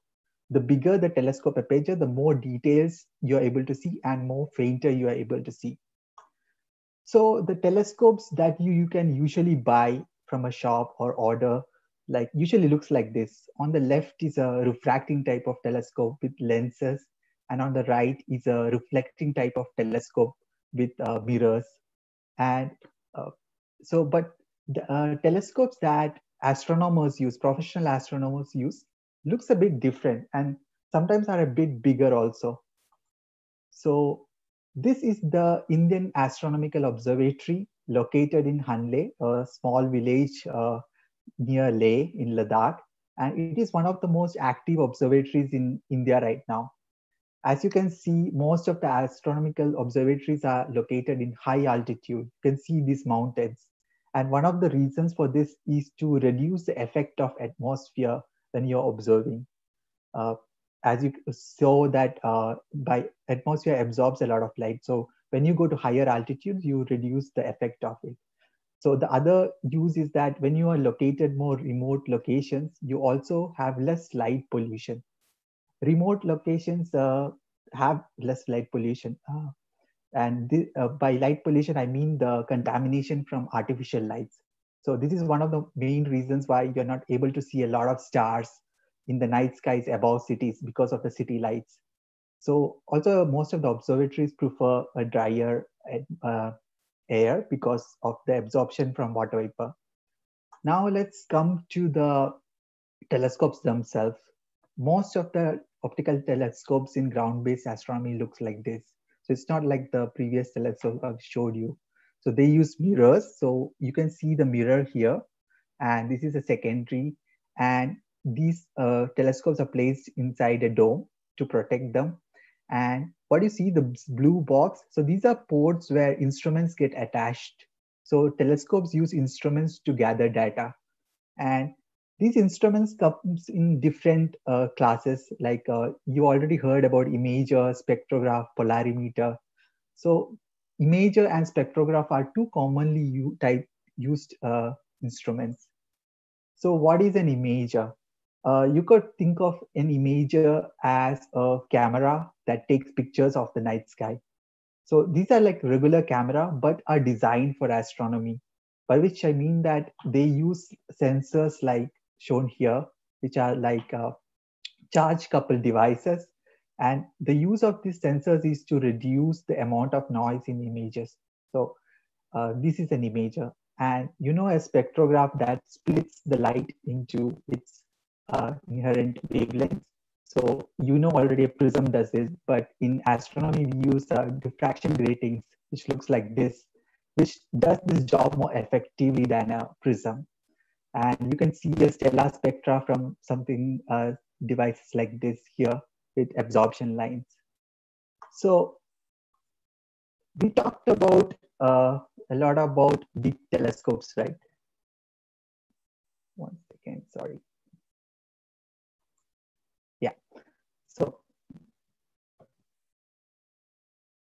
we talked about how we want big uh, telescopes, but how big are the current telescopes? It again depends on the type of telescopes. I'm showing two optical telescopes which are among the biggest in the world. Both are around 10 meter class telescopes.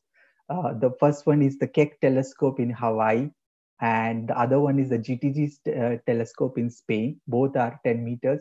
And for the Keck telescope, you could see the hexagonal segments uh, that make up the primary mirror. So these big mirrors of 10 meter size are made up of small hexagonal segments that are combined to form a large mirror. And this one is the FAST radio telescopes. So this is a radio telescope which has a dish, a single dish uh, telescope of the size of 500 meters. And the an important interesting fact about this is that this whole dish and dish was built on a, a depression in a mountain valley. So the curvature of the valley were used to have the surface of the dish. So it's a very interesting fact about this telescope. So we know how big uh, current telescopes are, but how awesome are they? And the answer is that they are pretty awesome. We have already done so much science with them. For example, you heard that we have already discovered existence of around 4,000 exoplanets. And we use different techniques to uh, detect these exoplanets. One of the techniques is using uh, this transit technique where when a exoplanet passes in front of the star, there is a, a, small dimming of the star, which can be detected by an imager. And we can also use spectrographs to detect exoplanets. So when an exoplanet uh, revolves around a star, there are like these small wobbles of the uh, in the star, and these small wobbles get recorded in the, as shifts in the absorption lines in the spectra. So the spectra shifts a little bit, and these shifts in the spectra can be used to detect these exoplanets. So while we are discussing exoplanets, this is another amazing result from uh, from one of the most used instruments these days, which is called a stellar coronagraph. So this technique involves blocking the light from the central star to reveal the planets around it. So this particular star is around 100 light years away from us. And it's amazing to see how much far we have come in terms of technology and innovation that we are in a stage to take pictures of planetary systems of other stars. So the other one of the results uh, that you may have heard about is this image of the black hole in the center of the galaxy M87. This observation is interesting because it was done by combining many radio telescopes around the world to function like a single telescope with almost the size of the Earth. And these uh, observations were synchronized using uh, very precise atomic clocks. And it's very fascinating to see the technology involved in imaging these telescopes. So the bottom, you can see all the radio telescopes that were used for this particular observation. So if uh, we have amazing telescopes now, what is coming? There are bigger and better telescopes and instruments that are going to come in this decade. And I'll just briefly touch upon few of these in very exciting projects.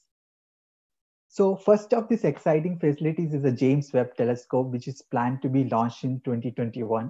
The size of this telescope is around 6.5 meters, and it will be launched in a launch vehicle called the Ariane launch vehicle by uh, European Space Agency. And you know already about the Hubble telescope, which is uh, has 2.4 meter size. One second, yeah. And compared to the Hubble, JWST, which is the James Webb Telescope, will have 2.5 times the resolution and six times the light gathering capacity. So for such a large telescope to be launched into space, there has to be enormous technological innovations just for the launch. So the telescope will be folded into this launch vehicle. And after reaching the space, the folded primary mirror will unfold into its original shape. So this is an exciting uh, coming up uh, telescope. So one of the other exciting facilities that will be coming up is the Vera Rubin Observatory that will start functioning around 2021. And it is named after this amazing scientist called Vera Rubin. And she is the pioneer of the discovery of dark matter. And this is one of my favorite pictures of her where she's looking at the images of galaxies recorded in photographic plates with a microscope now we have uh, come so far from that time and we can record images digitally using sensors. And Vera Rubin Observatory, which has an 8.4 meter telescope, will also have sensors that are amazing. Uh, so the camera they use will have around 3000 megapixels, which is around 3 gigapixels. So this is almost like if you have a selfie camera that is like 5 megapixel, it's almost like keeping 600 of them nearby each other and this telescope will scan the sky repeatedly at great depth using six filters and look at billions of objects. You can see how the camera changes the filters. And filters are essentially uh, changing the wavelength where you look at the sky. So this decade is also the decade where some of these extremely large telescopes will come into action. There are three mega projects currently under development the 30 meter telescope, which is. Uh, uh, Arun, your video is crackling, audio is crackling a little bit. Okay. And now it's better, I think. It's better now? Yeah. Okay. So this decade is also the decade where some of these extremely large telescope will come into action. And there are three of these mega projects currently under development. The 30 meter telescope uh, with the size of 30 meters as from the name, and the giant Magellan telescope with the 24 meter size aperture, and the European extremely large telescope with 40 meter size. So these telescopes will gain three times as much in resolution and 10 times as much in light gathering compared to the current biggest optical telescopes. So why do we need these big telescopes? Just to show an example, this is how much improvement you will obtain from a 30 meter telescope. So this, these pictures are the pictures of center of Andromeda galaxy taken from the Hubble telescopes. If the same uh, part is uh, observed through a 30 meter class telescopes, you will be able to see much more stars, thousands and thousands of more stars. And there are so many interesting science to be done with this kind of data. So there is a lot to look forward to in the next decade. These projects are also exciting because India will be contributing to some of these mega projects. India is an active partner in TMT, where it will be contributing in many uh, aspects. One of it is uh, you, uh, the 30 meter telescope has is built up of these smaller segments, right? Hexagonal segments. And India will be contributing to the polishing and the support assemblies and a lot of other instrumentation. And there is a large uh, square kilometer array project coming, uh, which is an exciting new radio telescope. And India will be also contributing to that project also. Another very interesting thing that's going to happen is uh, India is planning to set up a gravitational wave observatory. And this uh, program is on track and it's going to come up in the next decade. So apart from this, we are also building our own astronomical facilities. And this is the 3.6 meter telescope that was currently installed in Nainital. So this was uh, recently done. And there are a lot of instruments currently being built for this telescope. We have also launched in 2015 uh, a dedicated astronomy uh, satellite called AstroSat. And it has a lot of uh, instruments on it. And ISRO is planning on future mission, future missions uh, following up this. So the future is bright and there are opportunities for everyone. Astronomical instrumentation is one of the most uh, multidisciplinary field and requires a skill set in a lot of different areas, including optics, electronics, mechanical, software, and all together with astronomy. So everybody from every background is required and you have great opportunities coming up. So if you have questions, there is a link in the description box and you could type in your questions uh, in the nighttime astronomy section and we'll be happy to answer it. So I'll just pass on uh, now.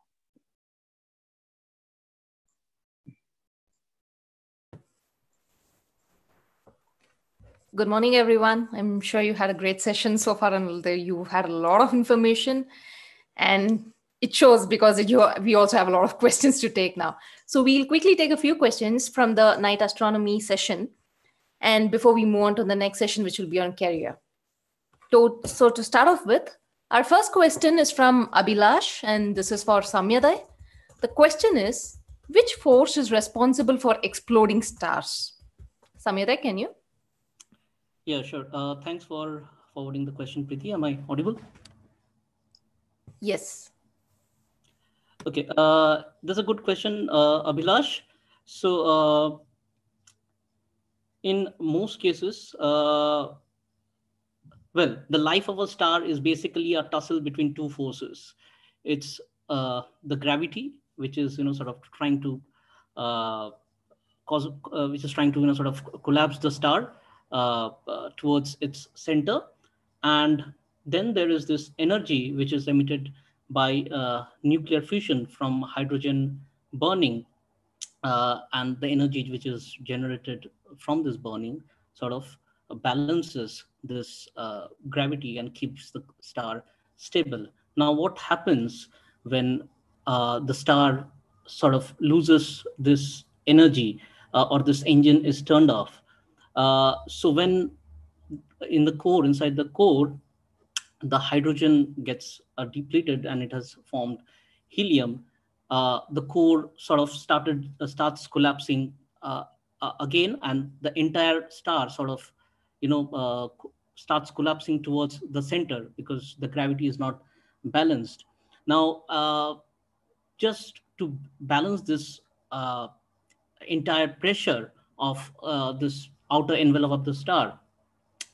The star inside its core, it tries to fuse in materials because the temperature uh, inside the core starts increasing, the pressure starts increasing, and it tries to burn uh, helium and you know it, it progresses and it tries to fuse higher elements uh, to you know sort of keep supporting this uh, gravitational collapse now, for stars which are massive than 8 to 10 solar, uh, which are like 8 to 10 solar mass, what happens is, uh, apart from producing helium, it produces to higher stages of nuclear fusion, where higher elements are produced, like carbon, oxygen, and then silicon. And finally, when uh, the inside material or the core material is iron, now, uh, iron is an element which has high binding energy, and you'll need a lot of uh, energy uh, or a lot of density, pressure, or temperature to fuse uh, iron.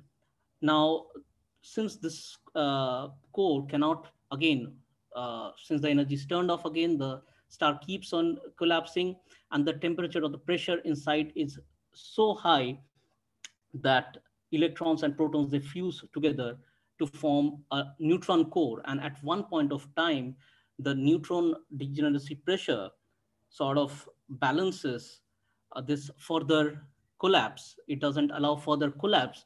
And this entire material is sort of rebound uh, as an, a violent explosion, which is called the supernova explosion. So this is how generally a star explodes.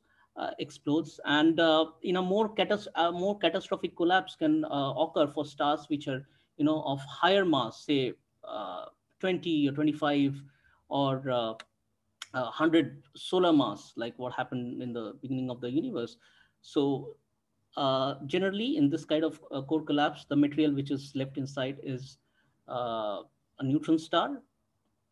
Whereas for this masses higher than that, like 20 or higher than that solar mass, the uh, core material, what will be left is uh, will be a black hole. And there can be another way in which supernova uh, or this stars can explode is stars are generally formed in a binary uh, system. They'll have two stars, you know, going around their uh, center of mass, and they can be of different mass. And the higher mass stars, say about a few solar mass, like two to three solar mass, it could have evolved faster because stars with more mass they evolve faster than stars with lower mass, and it would have formed a white dwarf. And this white dwarf star can be stealing material from uh, its binary companion which would probably be low mass, uh, low mass star, which has evolved to a red giant phase, and it will be you know sort of stealing material from uh, its companion star and uh, uh developing this outer layer outside uh, this uh, white dwarf core. And at one point of time, if the pressure of this material is so high that the core again starts uh, collapsing and then again uh, there will be uh, you know fusion of electrons and protons to you know sort of form neutrons and the star will again detonate in the form of supernova so the first category which i said is the supernova type is generally categorized as type 2 and this is type 1 and then there are several uh, subclasses uh, which uh, uh, you know uh, I can keep on telling about. But uh, probably this answers your question. Thank you. Thank you, Sam. Our next question is from Arka. This is for Shubham. For fusion process, there needs a huge amount of heat energy to maintain a high temperature. So from where this comes from in the beginning of any star formation? Is it caused by gravity? If yes, then how? Shubham, can you? it's an excellent question because uh, the life cycle starts with what we call as the protostellar phase, and in, when the star is a protostar, it hasn't yet started burning uh, hydrogen in the core. So you are right; it is because of gravity, and the reason is because of the uh, the pressure at the core of the star created due to the uh, due to gravity. So think uh, the reason is similar to uh, the why the pressure increases as you go deeper into the ocean because more and more weight has to be supported by that layer depending on the depth. So at the core of the star, which is supporting the entire mass of the star, you have extremely high pressure, which causes high temperatures. And eventually the protostar contracts enough that the core temperatures are hot enough to ignite the fusion of hydrogen. And that is when it becomes a, main sequence star. Thanks. Thank you, Shubham. Our next question is from Apurve. This is for Sandeep. In multi-messenger astronomy slide, while merging of two black holes, how is energy released and in what form? Sandeep? Yeah, uh, this is a very good question.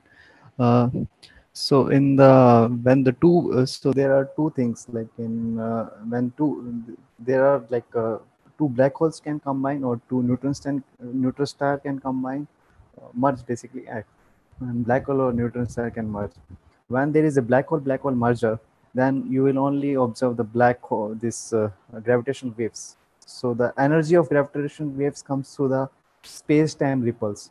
So uh, einstein uh, theory has told that uh, uh, this general theory of relativity has said that every mass has a curvature around it.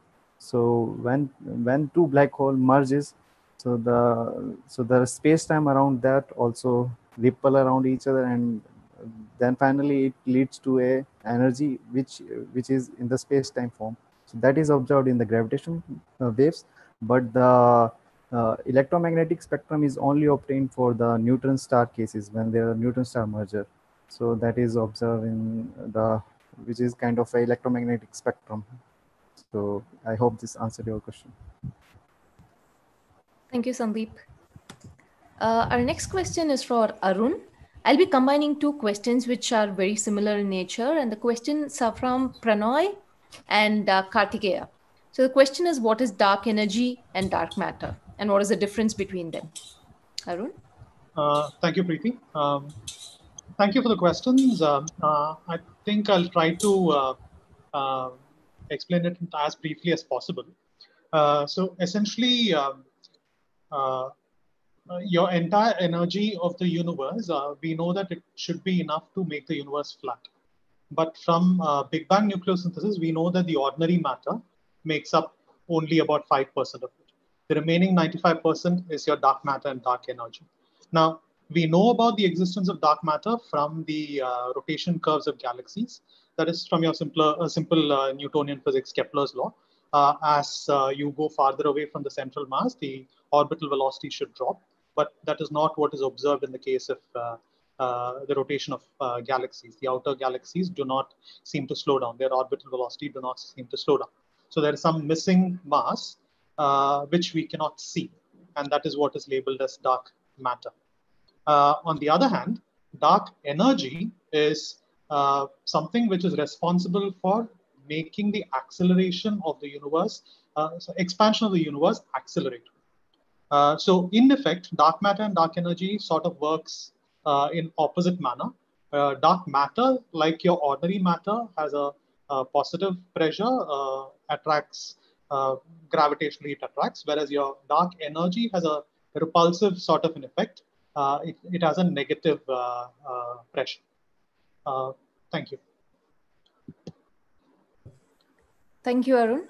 So we'll take one last question before we move on to the next session. This question is from Pranay. This is for Prashant. It says that time stops near black hole in event horizon region. What is the meaning of time stops? Does it mean every smaller particle spins and reaction, all things are stopped? Prashant?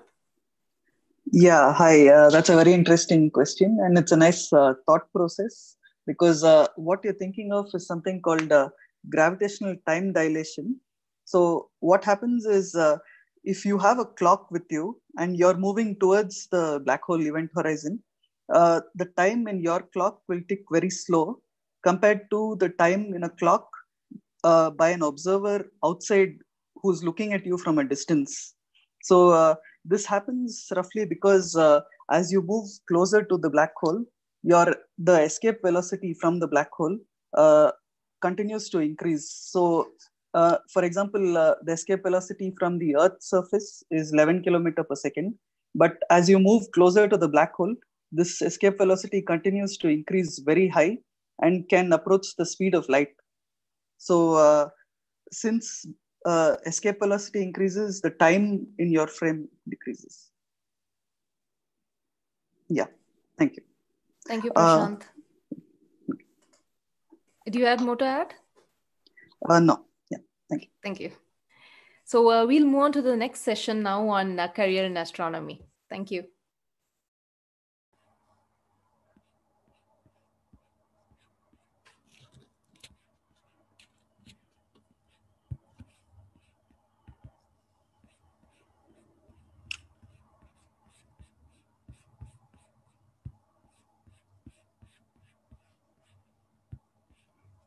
Is my screen visible? Yes. Okay. I hope I'm audible as well. Yep. Okay. Uh, so uh, welcome everyone again uh, to this uh, this part of the session where we will be uh, giving you a brief overview about careers in astronomy and allied fields. And uh, just to remind you again, uh, uh, keep your questions coming and uh, uh, you know spend some time in providing a feedback as well because that's important. That is what keeps us going. So Hi, everyone. I'm uh, Shamoda. I'm a postdoctoral research uh, fellow at uh, Macquarie University in Sydney, Australia. Uh, so talking about career in astronomy and allied fields. So as Mohan told you in the beginning, that you know uh, we can broadly categorize uh, this area into three parts. The first part is where uh, is theory or simulations where you develop mathematical models to understand uh, the astrophysical, different astrophysical phenomena or different astrophysical objects.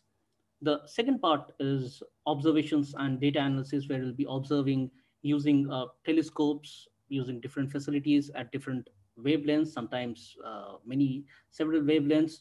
And the data collected, you will be analyzing it using codes or different software to uh, you know achieve your science goals. Uh, and the uh, next part is instrumentation, where you will be you know building up the facilities to observe, like building up telescopes uh, and related instruments like a spectrograph or polarimeter, and you'll be testing or calibrating them. Uh, so all of us who are in this uh, uh, group are from these three different parts uh, or from these three different categories. So I am uh, I generally am an uh, observer observer. So I, I am I fall in the second category.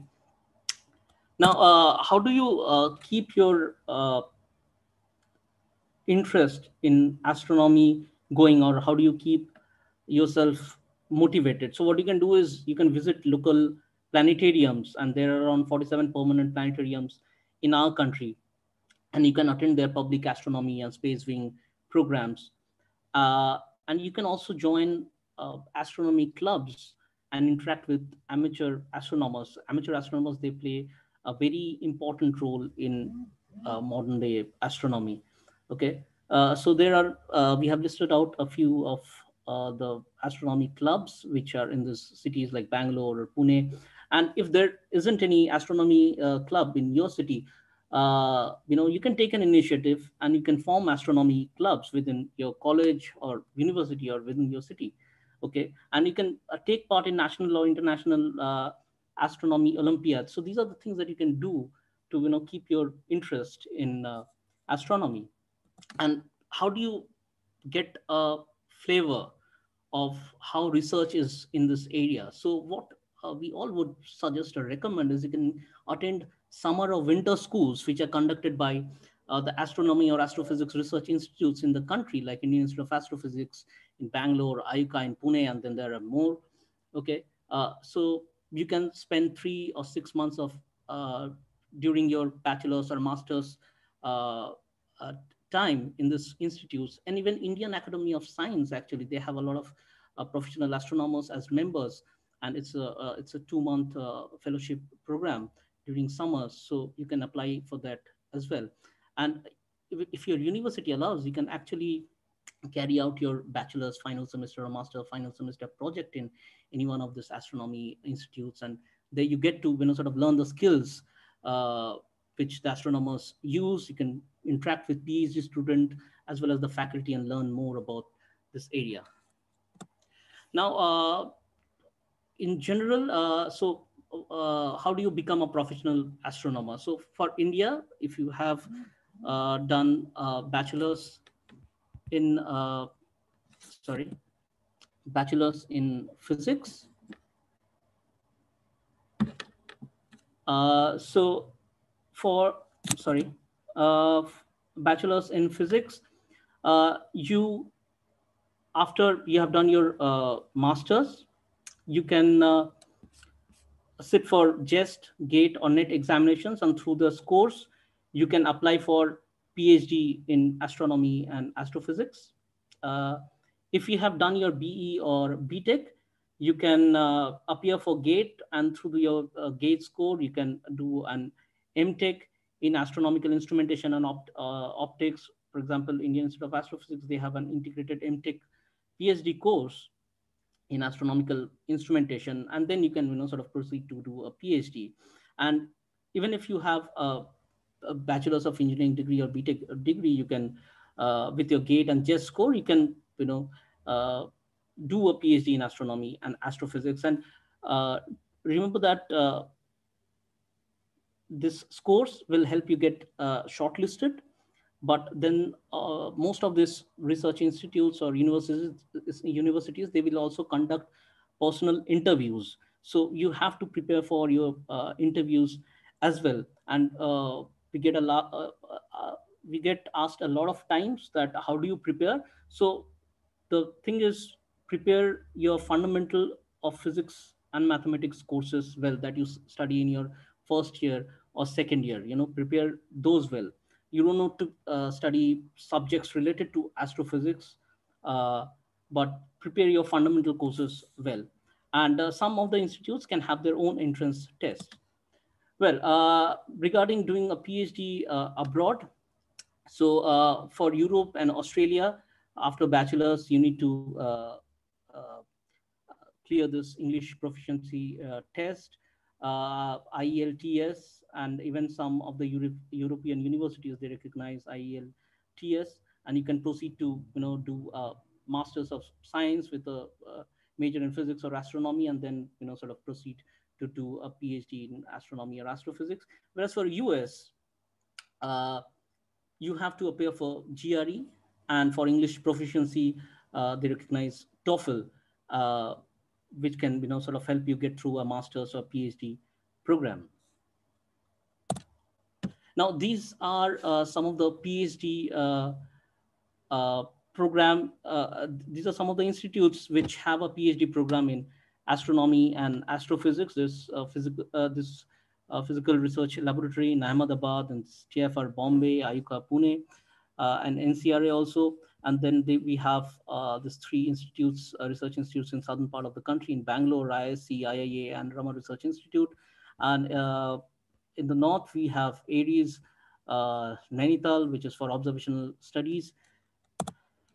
Uh, there are also uh, a lot of IISERs and some IITs which have experts who work on astronomy and astrophysics. And this includes solar, uh, solar astrophysicists uh, as well. And then there are some universities, uh, for example, BHU or Delhi University or Osman, Osmania University who have uh, theoretical astrophysicists or even you know astronomers working over there. So uh, just take your time and go through the websites of this uh, institutes. Okay. Uh, now, what is the general pathway or the career ladder as an astronomy researcher? So the first step is uh, PhD, where you learn how to uh, tackle a problem, how you learn how to approach a problem. So you'll be doing a lot of liter uh, literature reviews. You'll be learning about research methodology. You'll be uh, picking up uh, software skills. Okay, and the next start, next step is the post doctorate, being a postdoctoral research scholar uh, so this is when you have, you know, sort of start uh, uh, expanding your area, okay? start spreading your wings actually. So uh, you start sharpening your research skills and then you develop new collaborations or start learning new techniques. And you would also be mentoring PhD or master students in your research group uh, at the same time writing proposals and funding application and then you can uh, be a junior faculty at a research institute or uh, university. Okay so that's where you start building up your own research group. Uh, and you will start mentoring phd students and you will be basically making preparations for setting up a research group and uh, pushing towards a stable uh, career. And finally you end up as a faculty or as a senior faculty uh, where you will be uh, you can be heading the entire department rather than, rather than your research group. And you will need to have a broader perspective of uh, the research uh, fields or the uh, entire scenario. And you will have more freedom in academic interests and you'll be uh, you'll enable and support research and career developments of younger colleagues. And you'll also be taking up a lot of administrative roles uh, during this phase. Now, apart from, uh, and some of the, uh, you know, area which I mentioned previously, uh, in some of the universities or institutes, even you, need to teach over there. So uh, pedagog pedagogical roles are also important. Okay. Now, uh, what are the different other allied fields that uh, are related to this area. Okay, so if you have excellent oratory skills or uh, writing skills. Okay, so you can uh, play a role in science communication. Okay, you can share the exciting results and uh, different discoveries with you know students with public and uh, you can also play a role in uh, you know advertising the government on scientific perspective now uh, uh, because of the skills or the coding skills that you have learned during your phd and postdoc period you can also end up uh, in a career as a data scientist because you know uh, all the future astronomical ventures as all my colleagues were mentioning one has to deal with a lot of large data sets uh, you can also play a role uh, by being an observatory support staff. Okay. Uh, now uh, that role is very important because you will be uh, maintaining the telescopes, you'll be scheduling and coordinating observations, and you'll be maintaining the entire observatory. So you can uh, choose a career as an observatory support staff. And you can be also end up in the industry if you especially have an engineering background okay uh, industries which produce this uh, uh, instruments required for a telescopes or build up builds up telescope. Now uh, we have listed a lot of websites here uh, which you can take note of and you can go through uh, regarding jobs or internships. So for opportunities in india we have listed a few of the websites which includes isro and uh, IIA and ARIES, and for opportunities abroad, uh, be it industries or research institutes, uh, and uh, or uh, agencies that build up uh, instruments for you know space. so here are, we have listed all the website. So take note of that and go through them. And again, like keep your questions coming Okay. So uh, that's all from my end. Thank you.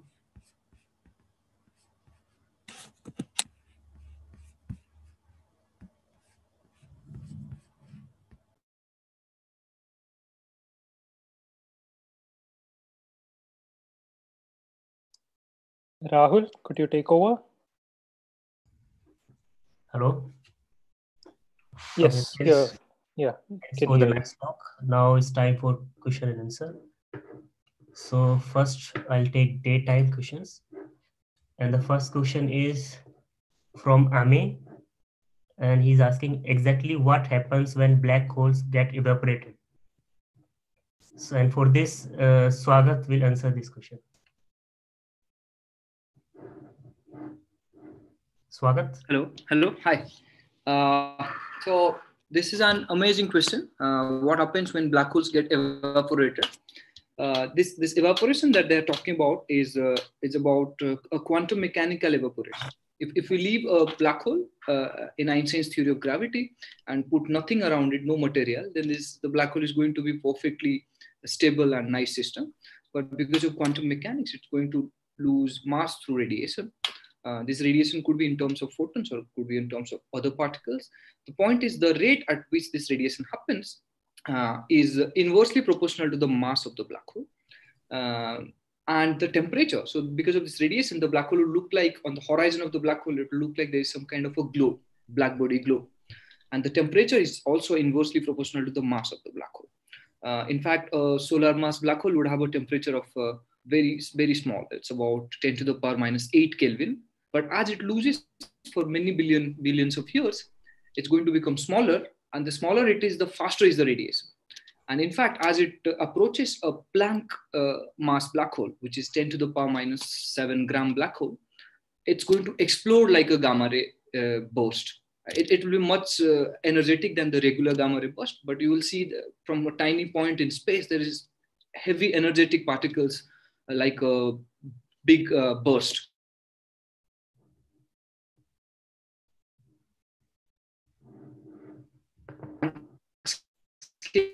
And quantum gravity effects will take over, or the black hole is going to completely radiate out into photons. So this is not known, but uh, this is roughly the answer. Okay, thanks for the nice answer. Now we go for the second one. And then this question is from Devika K. And is there any necessity for the dark matter to exit around it? And for this, Sandeep will answer this question. Okay. So this question, I think, pertain to this uh, slide. I will just share. Uh,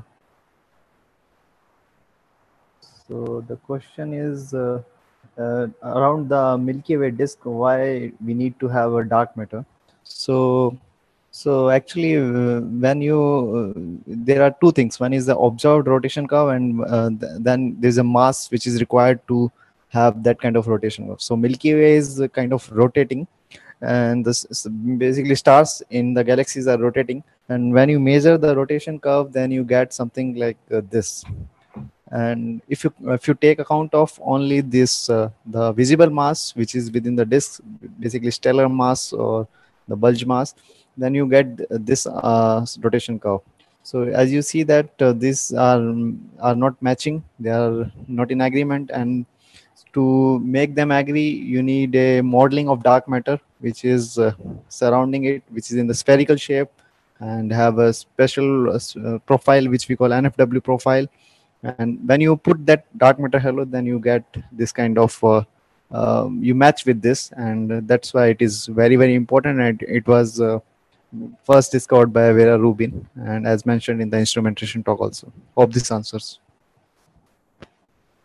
Okay thank you for this answer now we'll go for the next one and this question is from Gautam and he's asking, can you please give me a small note on the engineering techniques that are used in observational astronomy? And for this, Nirmal will answer this question.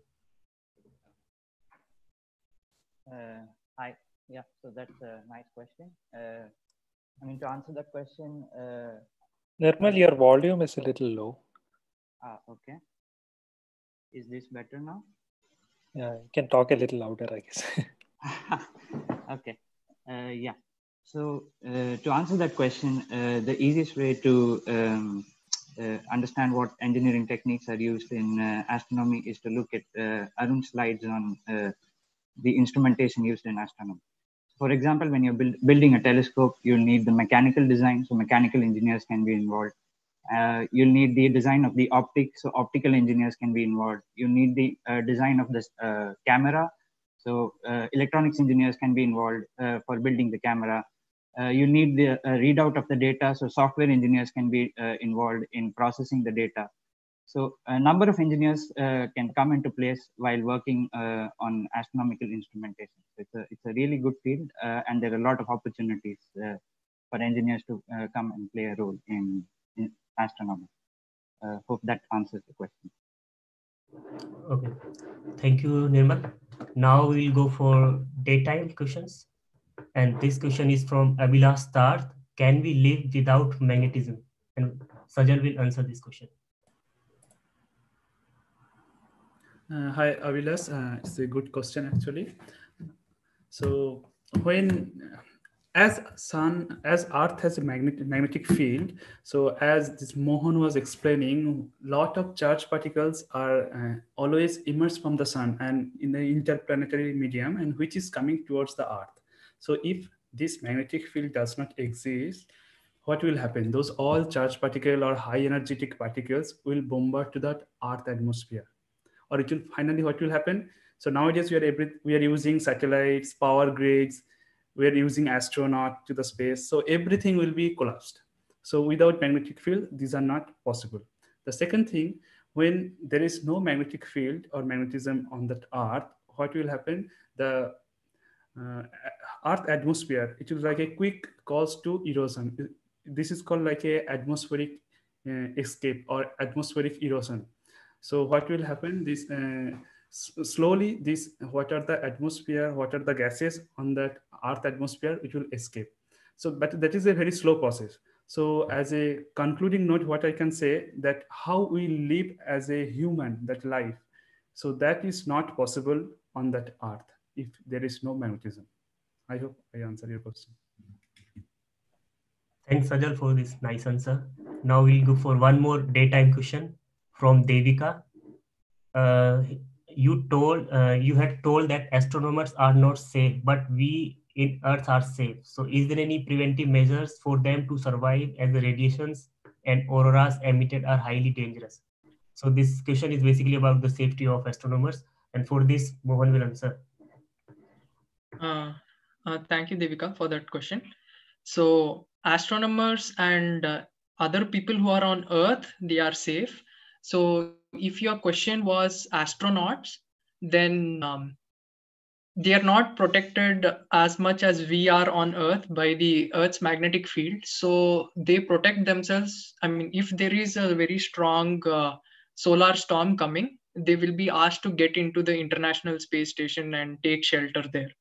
So that is where the predictions come. Like you have to predict a solar storm before it's coming, a strong solar wind before it's coming in uh, coronal mass ejection. So astronomers and other people on Earth, they are safe. And uh, auroras are not dangerous. Auroras are just uh, excitation of uh, nitrogen, oxygen, and other atoms in the atmosphere uh, by the charged particles which is coming from the sun and hitting the uh, Earth's atmosphere. So it is just green and blue light. I mean, it is not dangerous.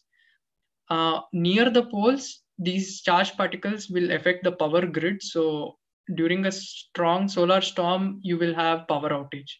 So people on Earth are safe. Astronauts can also be safe if we warn them. I hope I answered your question.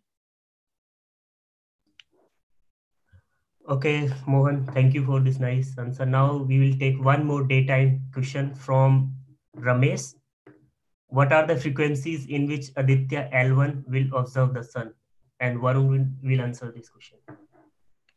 Yes. Hi, Ramesh. Uh, as you know that there are seven instruments on the Aditya L1 and all of them are observing in different wavelengths. So uh, one of them is VELC called Visible Emission Line of Spectrograph uh, rather sorry coronagraph uh, which is the heaviest payload it weighs around 170 kg and it absorbs in visible and infrared channels actually. then you have a solar ultraviolet imaging telescope suit uh, which weighed around 35 kg and absorbs sun in ultraviolet region with the help of some 11 filters then uh, we have two X-ray images. Those are rather X-ray spectrometers. Those are called as SoLEXS and HEL1OS. Uh, they monitor sun, uh, rather solar flares in X-ray uh, uh, regions.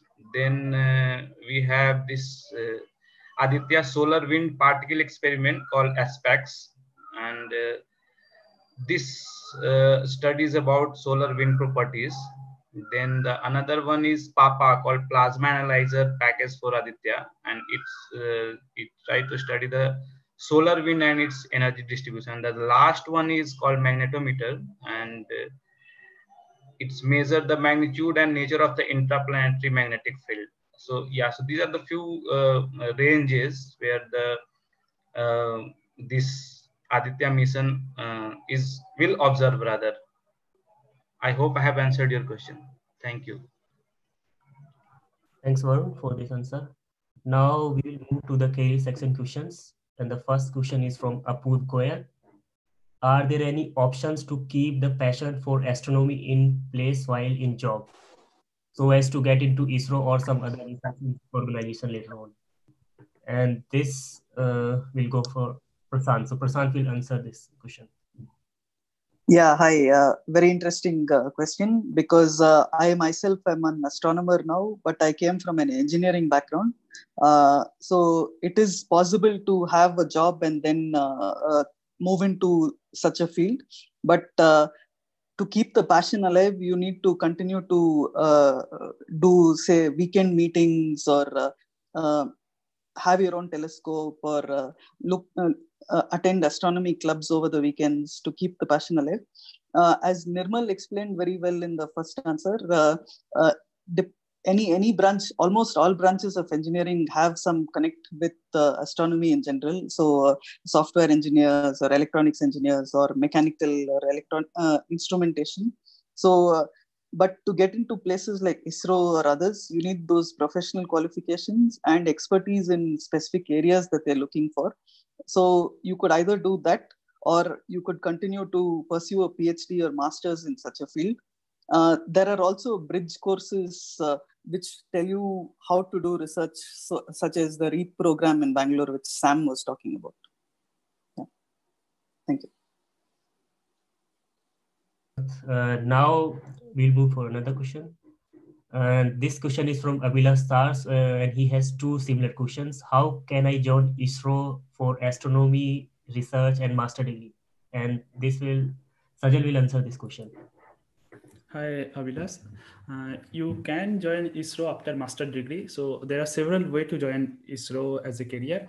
Suppose you have BTech or master degree, then you can join as an engineer to ISRO. So you have to see that.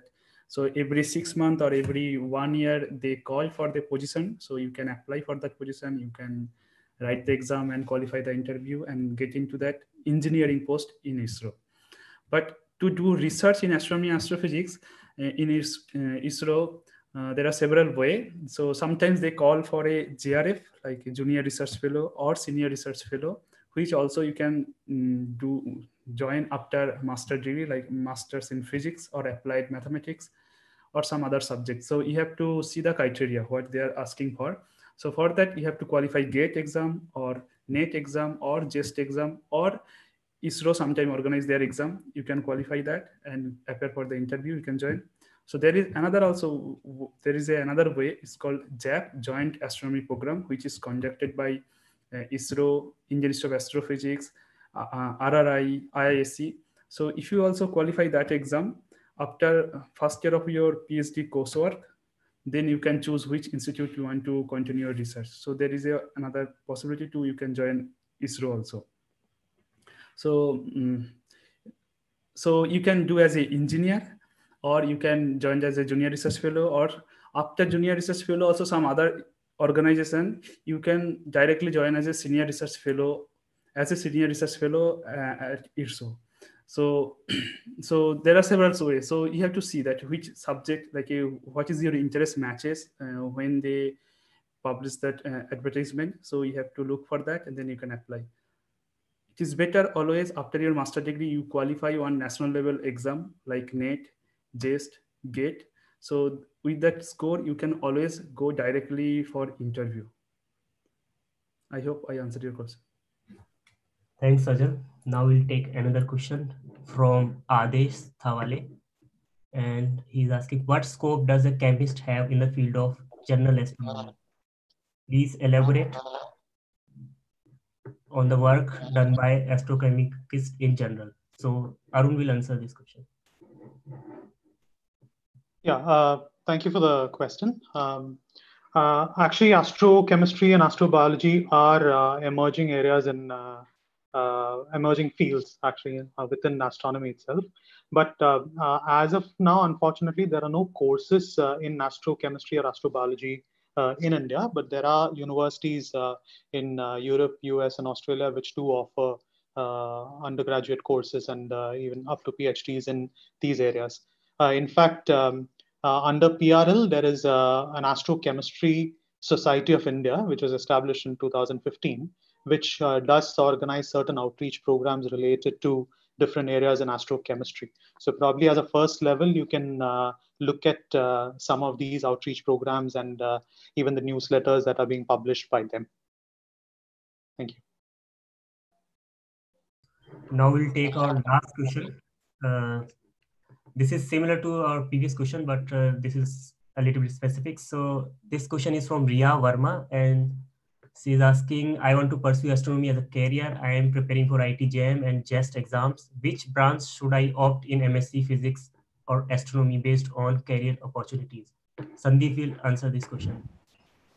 Yeah, uh, so yeah, this is uh, a very good question in the sense of career when you are, when you need to choose between branches. So yeah, if you are uh, preparing for JAM or JEST, then uh, you will be basing uh, basically getting admission into uh, uh physics branch which which will be uh, which will kind of provide you base in astronomy. So apart from this branch you need to be very strong in the basics because if you are going to take into admission into astronomy so it's not necessary that you need all the astronomy information beforehand So if you have very strong base in astrono- uh, physics, then it will be good. So I I think uh, uh, to be specifically, you can take physics, but sometime in mathematics also, if you do MSc, then people can come into this astronomy. But physics is the main if you want to crack the interviews. So in that sense, physics will be good. Okay, thanks. Thanks for this answer. Now we'll take one question from day and night time. Okay, so the question is from Ashish Modak, and he's asking what is stable and unstable Lagrangian point. Varun will answer this question. Yeah, so the stable and unstable uh, Lagrangian points are the places where uh, the satellites uh, um, spend less fuel basically. So if you are at an unstable point uh, with a very minimal disturbance your satellite may move out of that uh, uh, i mean stable point. So you have to come with uh, certain energy rather over there. Whereas the uh, stable points are areas where even if a small disturbances are given to the satellite, they does not move from that point. So these are uh, the two classifications of the Lagrangian points, and these metastable are rather these unstable points fall in a line in a single line between Earth and system, whereas the un, uh, the stable points rather are the uh, 60 degrees away from this these two lines. I hope I have answered your question. Thanks, Varun, for this for this answer. And now we'll move uh, to the nighttime question from Pranay Sarkar, and uh, he's asking: Is that clear to us that only one Big Bang happened before the born of everything, or multiple Big Bang happened? Swagat will answer this question.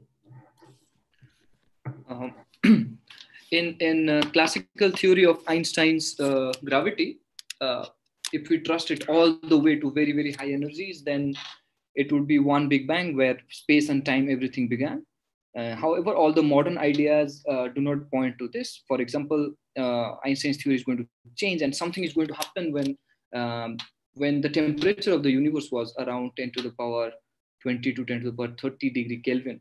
Uh, I, will I'll quote two, two of the ideas. The first idea would be that uh, our universe um, came out as a bubble from uh, a pure vacuum state. Um, this, this is too sounds too fancy, but uh, uh, this has been this is called quantum creation of the universe, and this is a very hot topic in physics.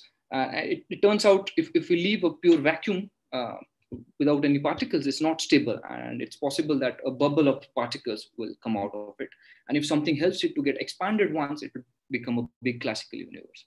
The second idea uh, is, is the idea of multiverse, where a Big Bang is not, an, uh, is not a unique event.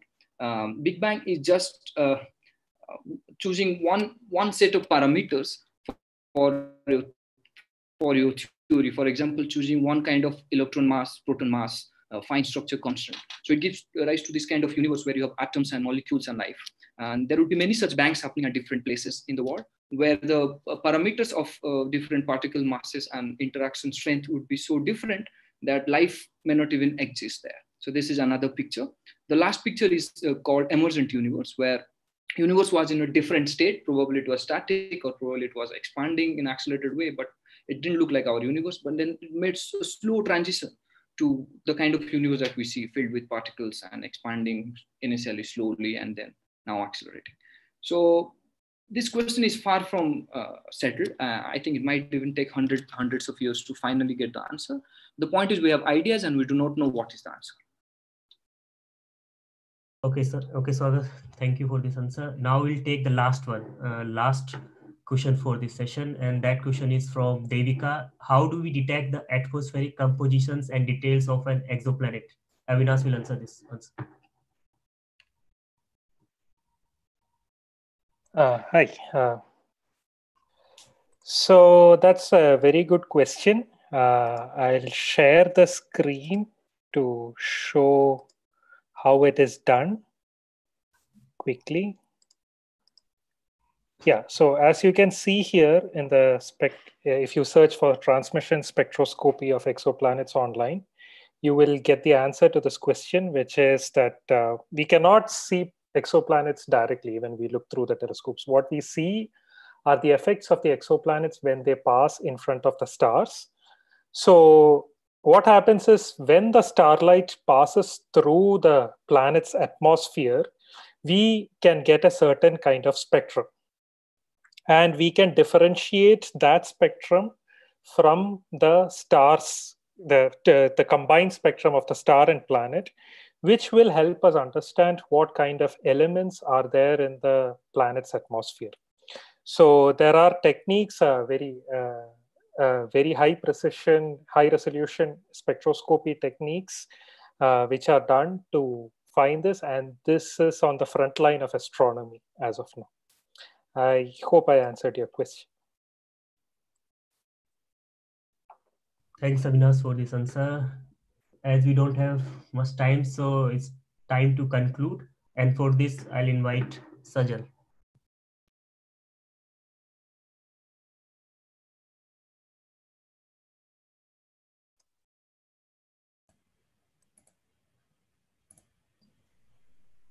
Sajal? Yes. Yeah. Can you see my slide? Uh, not yet. You have to share the screen. Oh.